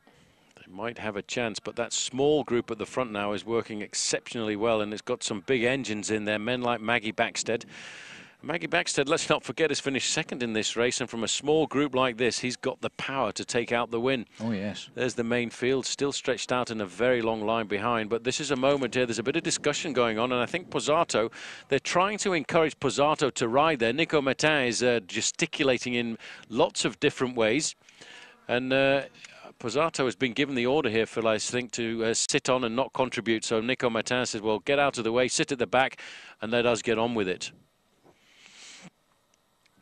Yes, well, Pozzato, understandably, but he does sprint well. Thor Hushovd also a little bit of a dark horse, really, because he can sprint finish from a group like this and could win. This is Mattan. Look at this here. Uh, this is what happened a few moments ago. He's having a big discussion there. Well, he's wasting his time, frankly. I think Pozzato was just trying to slow the group down a little bit, but let's not forget he's under orders, and they've got the best man on their squad in the next group on the road. So he's now going to become the psychological sandbag to this leading group of riders, and they'll know that they've got a man just sitting there for the easy ride.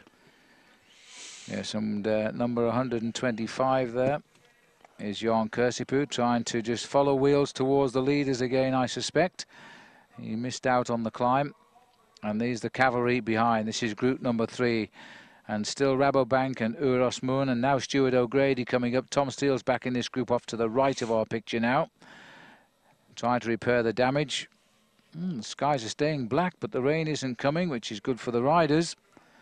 Just and this group is still racing, Paul, you know. It's not over as far as they're concerned. It's not a very big group either that's left here in the the chase to try and pull it all back together. This is a very strange race game, Wevelgem. It's very often like this. You can have breakaways uh, chasing each other and then all of a sudden it comes back together just in the outskirts of Wevelgem. That's the leading group there. At around about 25 seconds, you can just see the rest of that group. And I think if the disorganization continues in this leading group, we might see a situation where Tom Boonen does manage to come back. What he has to do now is keep that angry attitude of his, that young attitude, just 24 years of age. And if he's got the attitude of Eddy Merckx, he's got to use it now. He's got to find his legs in the next few kilometres as well because we're running down to the last 15 miles now of the race. All flat. We get to the main road eventually and swing towards town where they're going to pick up a raging tailwind and they're going to fly down that road to the finish. There's Boonen, third wheel at the moment in this group of six, which includes uh, uh, one uh, Jan Kirsipuu. And uh, Kirsipuu isn't one to overwork, but he does like to follow wheels, and he always gets himself in the right position. 26 seconds now. Both groups closing slightly. That's Tony Cruz in fifth in the line here, but a majority of the work being done by the two quick-step riders. They're not really doing anything to that lead, though, are they? Because it's still hovering at around about 30 seconds. And group number three on the road is actually starting to get them into their sights. And I have a feeling that very shortly they may well just reintegrate this group. And then it's going to be a big chase, group one and group two on the road. Tom well, Boonen. Sorry, Paul. We've often seen third. Sorry. After you. No, carry on. You're doing well. No, I was just thinking that so how often have we watched Ghent Wevelgem when we've seen these, these wonderful races? When the roads are narrow like this, they're never straight, they twist and they turn. You've really just got to bury yourself to chase down those leaders because you don't see them that often. Uh, they must know that they're holding them uh, because they've not desisted yet at all. This has been a very good race today. Very hard for a lot of bike riders, and only the strongest of the day are surviving in that breakaway. And uh, surviving at 27 seconds, a very precarious advantage, 26 now. Well, we've got three groups spread uh, in less than a minute on the road, and you're right, these are unbelievable racing roads, very narrow, difficult to move forward. The race has been in a single long, long line for almost uh, 40 kilometres now as everybody's tried to keep in contact. And everybody actually can see each other in a race like this because we're very much in the open flatlands of Belgium. We've left the Kemmelberg behind. There's not that much forested area here. It's very much farmland, as you can see. And then we're not too far away from the area where old uh, Erik Zabel was jumped on by a horse a little while ago. That's yep. Tom Boonen's group there. It's down to about 300 metres. They're going to get caught shortly, and I wonder if the impetus in the main field will be enough to pull back the leading group. Very often when they catch the second group, that's it. That's when they, they just let the leaders fly away, but we'll see. Uh, Boonen, is that a smile on his face or a grimace? I'm not too sure now. I think it's a grimace because he suddenly found the responsibility of being the man to beat, and he's getting very little help here. It's tough when you're the big man. You've got the big ticket, the big name on your back, and he was the man with everything to go for here this afternoon. But he's not giving up at all. He's no. certainly putting everything into this to try and uh, pull it all back together. But I think the better part of Vallen now would be just uh, cut the gas a bit, turn in the turbines and wait for that group to come up from behind, and then take the risk of that second group on the road, keeping its impetus and catching the main field. He needs to try and recuperate for 20 odd kilometres and then go for the sprint if it comes back together. Well, if you look there, he's looking for help now. He's not getting much help at all there. And uh, slowly it's going away. 31 seconds now and 40 seconds to the chase behind. They will merge for sure. Here they come and then that'll be two groups chasing one group and at just 15 miles from the line. 24 kilometers Hollebeke is where we are. Rabobank trying to get control here the, of the cavalry at the front because they've got nobody in the breakaway and they certainly had men poised with Hayman and Kroon up there originally. There's the merge I think. It's not long now. They will get together and then it's going to be quite a considerable bunch here to organize a chase. But the gap over half a minute half a minute. The big advantage that leading group has got is they've got two men in the group. They've got Cancellara and they've also got Flecha. Thing is that that chase group are going to be a little bit surprised when they see number one in it. Tom Boonen. they wouldn't have expected that. They might take a lot of courage from that because uh, they'll suddenly say, hey, this guy isn't superhuman at all. He's back here with us. Uh, then who's left up front? Well, as Tom Steels said, uh, he's just the same as any of other, the other bike riders in the race. He's got a, a strong head and two very powerful legs. Steels in about 10th position there, and he will be wondering whether or not they've got the ability to keep the impetus going. The one thing they I'd like to see now is I'd like to see this peloton go straight by this group, keep the speed going, and then that's going to make this race uh, pretty exciting all the way down towards the finishing line. I think Hulsmans there was having a word with Boonen to say, look, just save it for Sunday now. This is not going to work. Here comes the, the main peloton. Let them do some chasing if they want to win the race. We'll see how the tactics change now. Certainly uh, Rabobank are very interested in the result. They need one right now, actually as they now take control of the chase. The gap is 45 seconds, eight versus the rest. 45 seconds and a lot of riders, a lot of good sprinters in that second group on the road. It's going to be difficult for uh, Davitamon Lotto to chase because they've got Nico Mattan. But Quick-Step haven't lost everything because they've still got Filippo Pozzato in that leading group, and he's going to get a very easy ride into the headwind for the next four or five kilometres before they then swing around towards Wevelgem and pick up the tailwind. There's the leading group. Baden Cooke sitting at the back, Pozzato sitting in the middle there, and the two riders from Fassa Bortolo are certainly whipping up the pace. That's Cancellara on the front Maggie Backstedt is all over this move. He's not going to let anybody get clear of him. Will be a very interesting sprint there. We've got some good sprinters in this leading group now. Pozzato, Cooke. I don't think Flecha will live with those sprinters. Hushovd can sprint pretty well. Bennati can. And Nico Mattan can. And we know Magnus Backstedt can. So there could be a very, very tight finish here. Who judges the tailwind best and who's put the big gear on for the sprint? That could be crucial now. 44 seconds. They need to get themselves organised pretty rapidly. Here's Michaelsen. He got caught out in the slopes of the Kemmelberg a, a, little while ago. Interesting to see all the pink jerseys of T-Mobile have disappeared off the front end of the peloton. Tony Cruz is uh, in the group there, been picked up. He too got caught out in the in the flak on the slopes of the Kemmelberg and it's moving up again. The impetus has gone out for a fraction. They need to get themselves organised because this race is far from over. I just have the feeling that these boys might turn this around, you know. There's still an awful lot of riders want that race to come back. Although the losing ground as I speak, it's out to 50 now. And uh, the breakaway at the front has never been safe whatsoever. Zandvoorde is where we are now. Here come the leading eight riders being led by the... Um, the boys from Fassa Bortolo, they've got two of them in the breakaway and uh, service required. I hope it's not service from uh, Cooke here. He might just want a drink. There's the lineup for you. Pozzato, Bennati, Hushovd, Mattan and Cancellara, Flecha, Cooke and Backstedt. Backstedt, second last year, would dearly love to go one better right now. He's the only one left of the top three finishes from last year.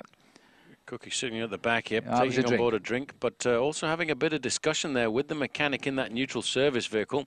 And the fact that his own team car is not up alongside is still an indicator that we haven't yet reached the one minute mark.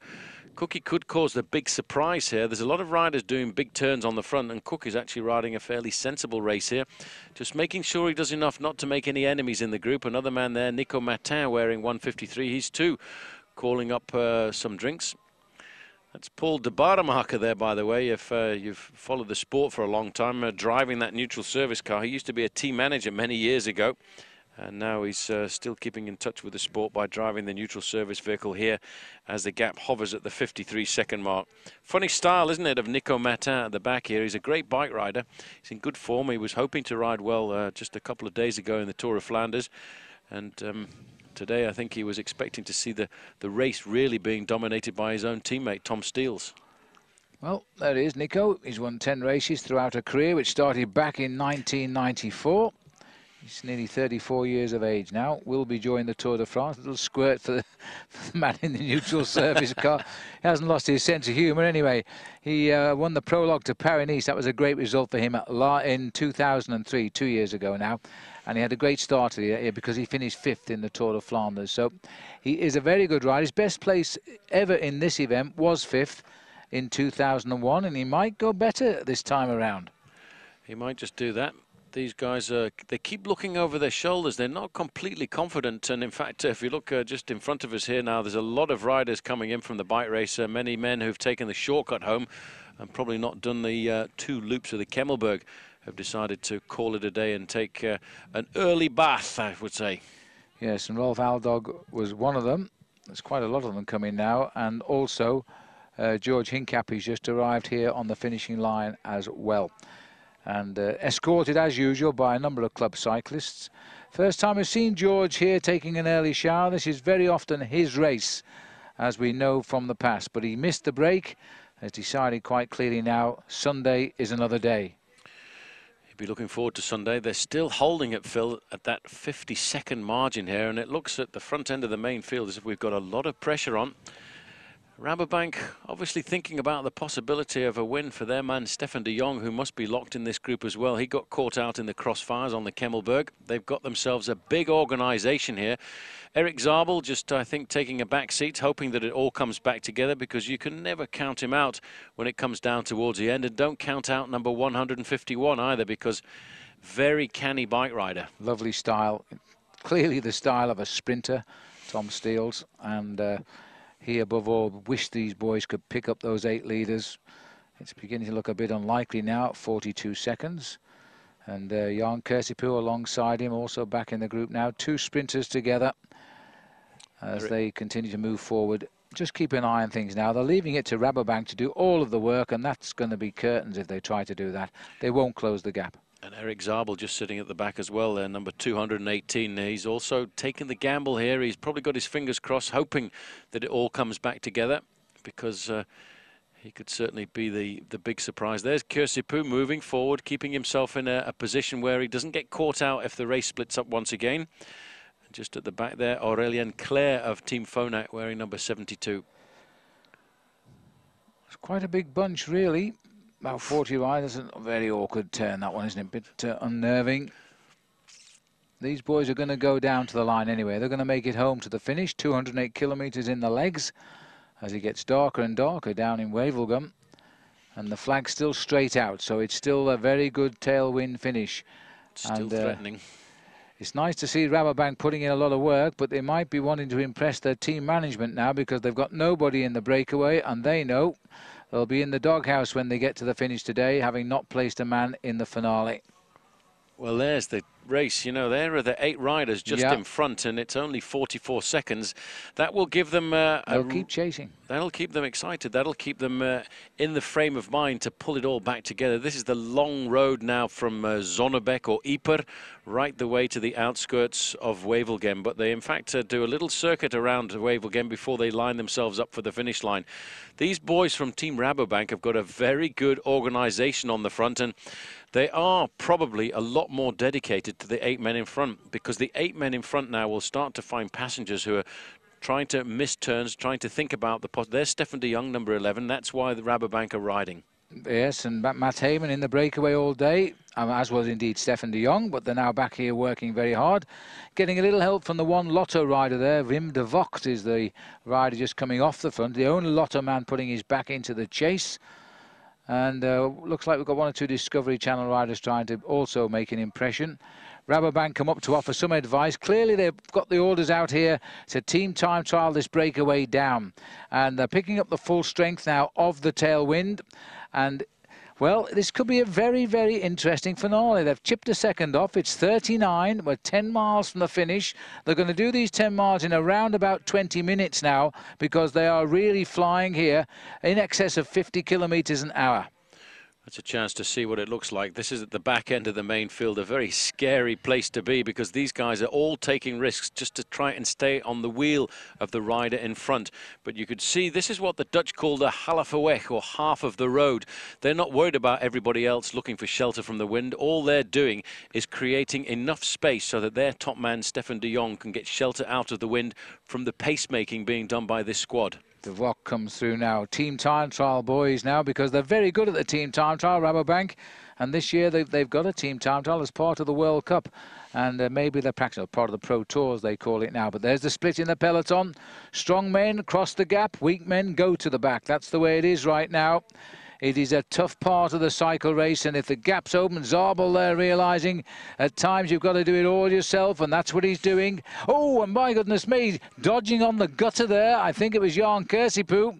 Just a bit of desperation there by Kirsipuu because the split suddenly happened. That's a nasty looking little rise just ahead as well. a bit of desperation, I would say, was an awful lot of desperation. He will have been throwing out the sandbags, just trying to get in contact with the wheel in front of him, and he could see the gap going. These guys have basically been decanted from that group to the back of the race here, and they're going to have a hard time because it is so difficult when you get tailed off in an echelon to actually pick up the pace to pull back what might only be four or five meters gap. Well, I tell you, this is a finale in Wevelgem. A lot of riders too proud to throw in the towel today. They really believe they can handle this breakaway at 15 kilometres to go, 38 seconds and closing. We'll pull back. We're on a little rise here. You'd never know it from the helicopter. It's still a big gap, but it's going to be a desperate finish, and that group is getting smaller. And that group is getting faster as well, and a lot more reinforcements coming up towards the front. We've got a couple of riders moving in there from Lotto. Stuart O'Grady now had a nice quiet race. O'Grady's just moving to the front. Now it's starting to get that little bit precarious. Lars Michaelsen from CSC is in there as well. This is a very difficult situation when you've got a team using half of the road in an echelon formation like this because there is absolute chaos at the bottom end of that line. There's Erik Zabel, a little few drops of rain starting to come down, looking over his shoulder. What's the gap? Am I still in contact with the riders at the front? Could be the day for Erik here this afternoon because I've got a gut feeling, Phil, this is all going to come back together. Well, I wonder. Erik Zabel flexes the muscles. The clock says 4 hours 40 minutes. The riders have been in the saddle. The winning time last year was 4 hours 58. They're going to beat that, that's for sure, to the line now by probably 2, 3 or maybe 4 minutes. It's been much quicker this year. And these boys have not given up. In fact, looking at those faces, they really believe they can shut this down. And it looks as though the rain is beginning to fall out on the course. It hasn't hit the finishing line yet, which is only, as you can see, 14 kilometres distant. It isn't much. They just need to knock off two seconds for every kilometre of racing between now and the finish, and they'll catch them just inside of the last kilometre of racing. Maggie Backstedt knows that very well in the lime green jersey of Liquigas there. Pozzato, Bennati, Hushovd, Mattan, Cancellara. Flecha is in there as well as Baden Cooke. And of course, that's Maggie Backstedt in the lime green. Cookie must be thinking, just survive, guys. Just let's stay off the front because I can take this one. This has been a desperate breakaway. Even for those who thought it was all stitch up as they approached the Kemmel first time around, it hasn't been the case at all. The peloton has been fired by those coming back from the breakaway, including Tom Boonen. There is Pozzato. I think he's the big dark horse here who could well produce the finish uh, that would stitch it up for the Quick Step team. He's looking very, very good. The Italian says his form is great. He's had no wins this year yet, uh, but they know his form, and that's all that matters. He is a rider who can win in the sprint. He won the Trofeo Laigueglia last year, towards uh, which was around this time of the year, which means he, he does find early season good condition. But look at that, Paul, 29 seconds now. They brought it back from nearly a minute. It's coming back slowly but surely. The advantage now going towards the main field. And Roads are getting wet. Psychological moment. You see all these guys now are sitting up looking over their shoulders. They know that their team cars are not behind. They know that the, the gap is not great. It's inside 30 seconds now, 28 seconds. Multiply 13 by 2. 26 seconds. They have to take two seconds a kilometre to pull those men back. But the organisation was in the main field. They've got to lift it a little bit because at 24 kilometres they had 45 seconds, approximately half of what they've got now. But they've got to lift it that little bit more, otherwise they're just going to miss out by three or four seconds at the finish. That's the possibility. But of course, once they know they're getting closer, and these roads are going to become treacherous, just enough water on them to make them a little bit glacial. As we look now at the chase group, Rabobank will love these conditions now because they're tough guys from Holland who know how to ride in these conditions with the wind and the rain. And there's help coming now from other members of the squad. People are beginning to sense they can still win Ghent Wevelgem. Well, I think Tom Boonen is probably starting to sense that he could win it as well because he sent one or two of those riders up there in the blue and grey jerseys of Quick Step there. You can see moving up into fourth position, one of his teammates. Boonen himself is back there in the main part of that group. A little bit of disorganization coming into the front end of the peloton, but they've still got the impetus. They've nudged a few more seconds off. It's down to 23 seconds. It really is going to be touch and go, as, as you say, Phil. The, the road now is going to be very precarious, and as they get to the outskirts of Wevelgem, there's a lot of tortuous roads are left and right through the industrial part of Wevelgem, and that's where we can see these guys starting to lose a bit of speed. Well, this is the this is the moment. You've got to watch it coming off this roundabout now. Just enough rain on the top to make it feel a bit slippery. As they come off that bend 11 kilometers 22 seconds of gap. Look at the top of the picture because here come the chasing group now. They're going into the roundabout and it looks i think they're going to take the other way round here are they? Yeah as the dutch bring them round the other side of the roundabout not so easy to make that sort of a turn, though. The old body, it's not a natural corner for the body. Anyway, off the roundabout, 19 seconds the gap. Oh, we've lost a second, gone back to 20 but acceleration coming at the front end of the main field. Uh, you can see now a move here. Looks like Bennati's gone off the front there for with Hushovd. Lampre. That's Hushovd and trying to get across. It looks as if that's Cancellara just trying to make it number three. 10 kilometres on the right. So remember, that's more accurate, I suspect, than our... Oh, well, they agree with us now. So it's 10 kilometres to go. As now they've pulled back. The attacks are starting. They've got to happen now. It's the only way this breakaway will survive. Hushovd's made his move with Bennati. Back together again. Flecha's first to reach them. Then Pozzato. Then Backstedt. And then Mattan. They're panicking now. They can feel almost the breath of the main field. They might even be able to hear the wheels of the peloton behind. This is the organization on the front. Lots of riders from Rabobank, help coming from Lotto, also coming from Team CSC. They're riding a lot faster and a lot more consistently. This is going to be touch and go whether those eight riders do survive. But the fact that they're starting to attack each other now, Phil, takes the overall average speed down just a fraction, while these guys will be locked on their normal speed. That looked like Mattan going through the haze there. The rain coming in onto the lens of the television camera, but again countered there by Thor Hushovd. Well, that was Matty Hayman doing a great work of chasing. There's the attack there on the right of the road.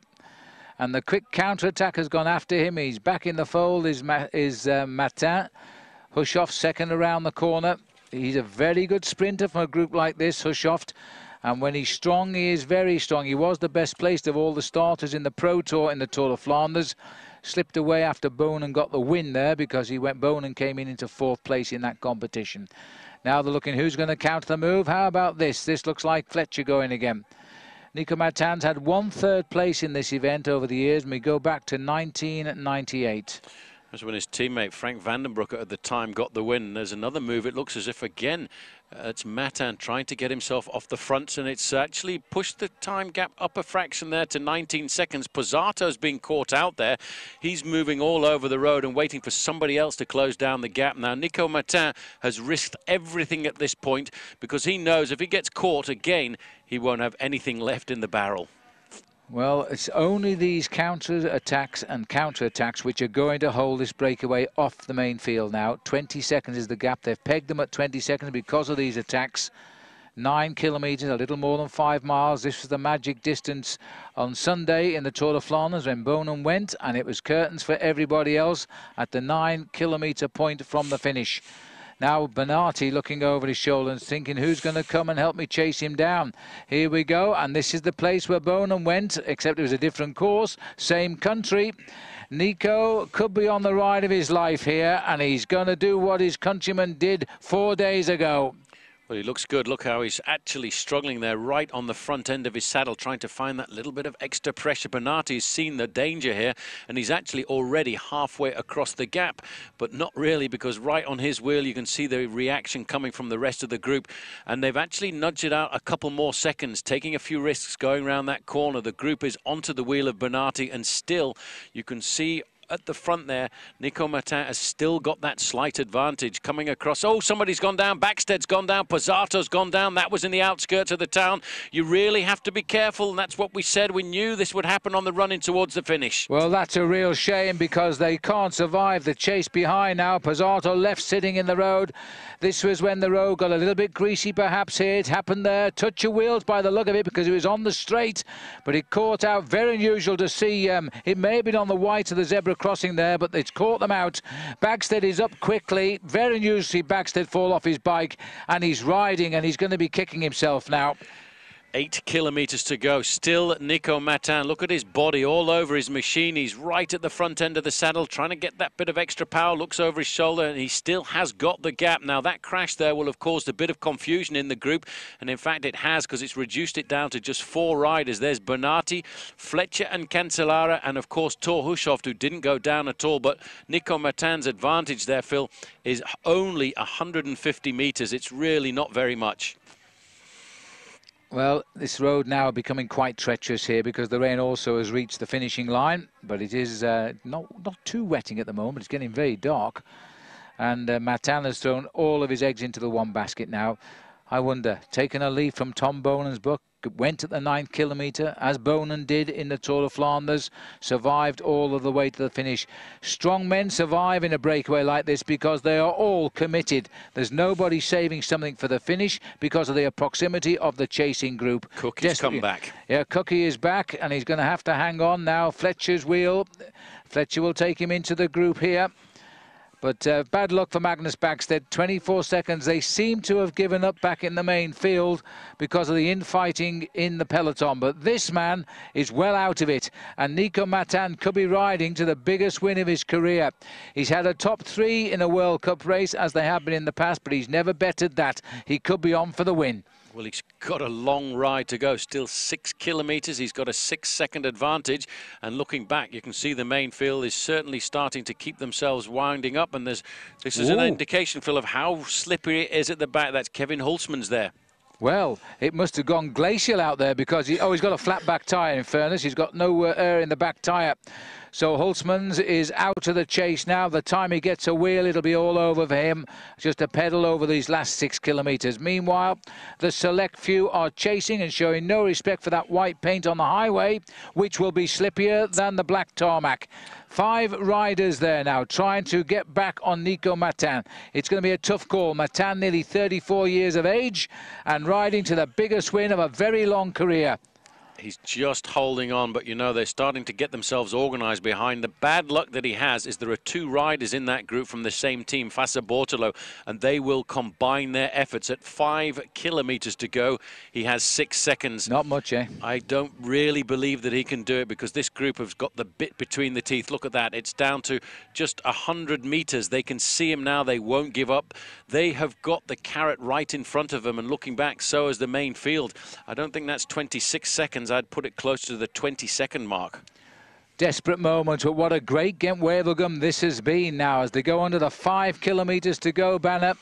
These five riders, minus Magnus Bäckstedt and Filippo Pozzato, are going to pull back Nico Mattan with just on three miles to race to the finish. And I wonder now, Thor Hushovd and Baden Cooke are going to start feeling they might have this race. Cookie stretching his legs at the back, relying on the chase from the others. Mattan will not ease. He's going to make them race up to his back wheel. He is not going to wait for them. He will not give up. He cannot give up now, but in fact, you can see the weakness starting to appear now. It looks again as if, uh, looks like Cancellara's going across the gap. He's got the defence there of his own teammate Flecha. Flecha now will respond to any of the counter-attacks that happen, and he's halfway across the gap already. He's probably going to be very shortly up alongside Nico Mattan. Mattan will now have to try and react and see if he can get onto the wheel of that, uh, the Swiss Italian. He's got to make an effort because that is. could be the move there. Well, I've said that on every move we've had so far today, Paul. This has been such a good race. Uh, but Cancellara now has joined Nico Mattan, the man that won the prologue of the Tour de France, along with the man who's won the prologue of Paris-Nice. The two of them are clear now. And there's one man blocking for them back there. Juan Antonio Flecha, the man that started the move. Cookie's coming across. He wants to win here this afternoon, and that is a great move by a man who is much more renowned as a sprinter. Bernardi here looks for some help. He won't get any help from Juan Antonio Flecha, and the man who is really being caught out here is Hushovd, but he too begins his reaction. Halfway across the gap, slowly needling his way back is Baden Cooke. This is a great ride by Cooke. It is a great ride by Cookie, and I think, in fact, that is Flecha who has joined Mattan. Uh, 193 plays 195 and the numbers are crumpled but I think it's Flecha who's got across the gap and Cookie is joining them if Cooke joins them they might well sit up because they know he will beat them in the sprint well, Nico Mattan now getting a bit of help there from the rider from Fassa Bortolo. Cooke is across the gap, but the rest of that group is not too far behind. And the main field They're certainly not closing it down. They are, in fact, saying it is Flecha, joined by Cooke. Left-hand turn, the wind will change. It'll come onto their backs now as they get slowly but surely closer to the finish line. That's the second part of the main group there. Just three riders. This is Nico Mattan. Baden Cooke. Oh, oh it, it must hurt. It must hurt. He's just made the junction there, accelerating out of the go. corner. He mustn't let them go. He's just got to hang on there for a second till the enthusiasm ebbs just for a few moments and get on. This is Hushovd, Bernardi, and uh, I've forgotten which one it is now, Cancellara, who is back in that chase group. Flecha's gone again. Now that's that could be it. Now, if anybody deserves to win, of course, it is Flecha. He started the move, and they all joined him, and he might well be finishing it off. No Spanish rider has ever finished in the first three in the Gent Wevelgem Classic, and this could be the top notch to start with. Well, Mattan is still looking down. He's still got the effort here. Second place still a reality. We can forget the main chase now. In three kilometres, they won't close. They've tried to close for the last 40, and they haven't succeeded. They won't do it now. This man is possessed. He wants to be the first Spaniard to try and get himself the victory. He'll be looking up the road. He's probably ridden on these roads over the last couple of days just to see what the finish line looks like. Looks under his elbow there to see if he can see the shadow of anybody else coming forward. Feel a bit sorry for Cookie there. He made the junction just at the right time, or maybe it was the wrong time for him because the next acceleration put him here into third place on the road. And that looks very much as if we're getting slowly but surely closer to the finish. Just three kilometers left to go.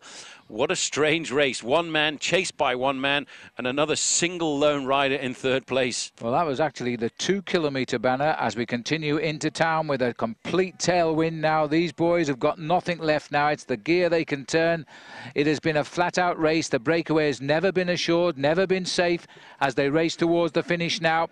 Juan Antonio Flecha tried so many times to win a stage of the Tour de France its way last year with his late breakaways and they caught him on the run in at various places. In one town, he was beaten by Tom Boonen when he almost survived to the finish.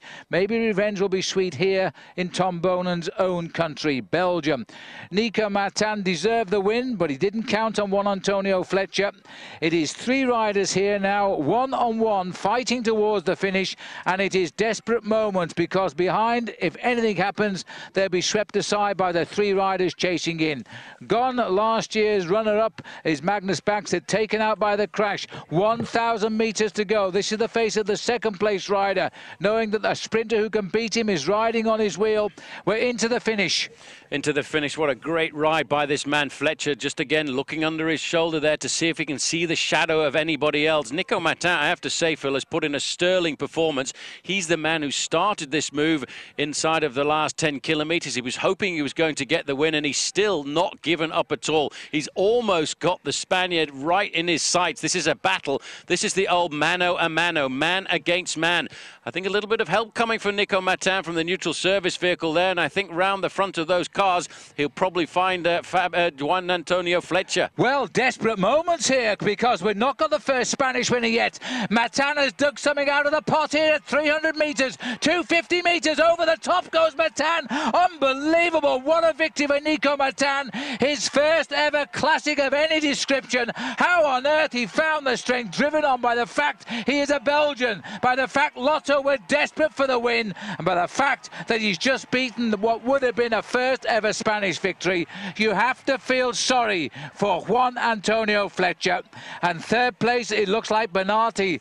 No, that'll be fourth because, oh, yeah, he's third because uh, is that Cookie has been passed on the running. So he has. So that was third for Bennati of Italy.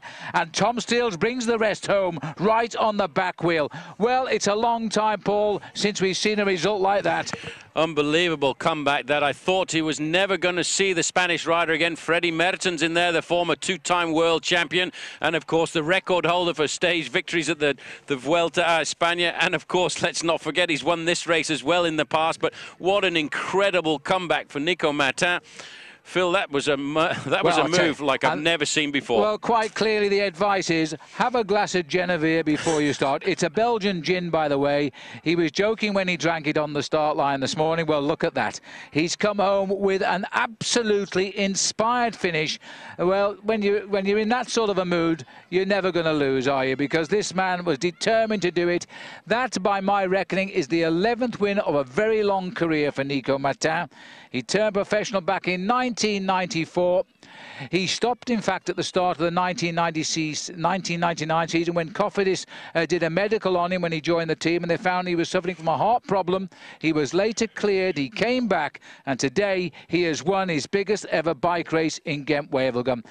Whatever we say about Nico, we feel desperately sorry for Juan Antonio Flecha. He made the race today. I thought he'd done enough to win it. I thought he'd done enough to win. I don't think he expected anybody to come back like Nico Mattan, but Mattan never gave up until the last 50 metres. He battled, even when he'd been caught and passed, he went right the way in. Suitcase of courage job, that one, wasn't it, Phil? It was indeed, and the, the motto is you never, ever give up, because that is unbelievable. He's nearly 34 years of age now. He's had a third and he's had a fourth in the past, and now he has got the final big win. Um, what a way to go out at the end of your career. You've you've had to wait a long time for this big victory. Yeah, it was already third in um, 98. I was fifth in that to 2001. when Hincapie won. So it's one of my um, greatest races I win in my career. So um, I win the pond, I win the prologue of Paris-Nice, but for me to win Ghent-Wevelgem, it's it's my training circuit. I pass every day in Wevelgem. Sometimes on the training, I put my hands in the air. I thought I win. So I think it's the most beautiful moment in my life. I think. How is it possible when at the end of the race Flecha went away, you never gave up, you always believed that you could come back and win this race? The moment Baden Cooke he came back, I wait five seconds and then Flecha he go. I say, where the fuck he go? And I say, I can keep him. So I tried to, to, to stay 50 meters, but I, I know I was strong enough to, to but I know the, the finish. I pass every day, I say, I can, when I saw the last kilometer, I say, I can beat him, I can beat him. So I beat him. Nico, Pretty tough day in the saddle, but what a way to come out for the team. Well, talked with Nico last night and he said, yeah, yeah, I want to get on the podium tomorrow. I have to beat Boonen. And, and didn't, to tell the truth, they didn't really believe him, but uh, he's come out swinging today and smashed everyone, obviously. So You won't have seen the finish there. He actually was dropped by Flecha with about four kilometres to go. He never gave up. He caught Flecha in the last 200 metres and found an incredible sprint to go and get the win. It was an incredible comeback. Well, he trains on these roads here, and he knows this this race back to front, and uh, you can just tell his character. He's a, he's a real dog, you know. He's back him in in the corner and uh, watch out. But he's an incredibly strong guy, and uh, he's been very consistent. And he's been saying he's the strongest for the longest time now, but today he was. The nice thing is, though, we also saw a very strong Henk Vogels, who was part of that victory. Yeah, I haven't had too much racing leading up to Gent-Wevelgem, but I made the, the front group, but dropped on the Kemmel, just not enough race experience, so it's a good warm-up for Sunday. Good luck. Thanks, mate. It was a nice win. So there's the result confirmed. Nico Mattan of Belgium wins his first big classic, and that's what it is here in Belgium. Juan Antonio Flecha becomes the first Spanish rider to podium in this event in its history. And Daniele Bennati, he got the third place because poor old Baden Cooke got swept away to sixth there in what turned out to be a rather entertaining last 500 metres of this year's Ghent-Wevelgem. Tom Steels took the sprint from the main field. What would he have done had he had the legs to stay with that group over the second climb of the Kemmelberg? Truly an amazing event there, and I did notice that Juan Antonio Flecha immediately congratulated with a warm hug um, the winner of the race, fully appreciating the effort he put in there uh, to win this year's Ghent-Wevelgem. Nico Mattan, 33 and three quarter years of age, and he gets the biggest win of his career in uh, a season which started for him the first time back in 1994. There's the desperate finish from the pack here. Uh, being led out from uh, Burghardt, but then when it came down to it, oh sorry, this is the main field coming in here, which is uh, quite a long way down. Just on seven minutes for them as they cross the line. And the rain happily never really developing, but it did affect the finish as far as Magnus Backstedt and Filippo Pozzato was concerned. So the Belgians are certainly celebrating a great spring here in Belgium, winner of both the Tour of Flanders and now the Ghent-Wevelgem Classic. But Nico Mattan, people are saying he came up behind those cars to snatch victory. And certainly the manager of the Fassa Bortolo team, Giancarlo Ferretti, he's put in a complaint and says that this event shouldn't actually be part of the Pro Tour if that's the way the referees are going to conduct themselves. Whatever we may think, the fact is, Paul, those cars should not have been there.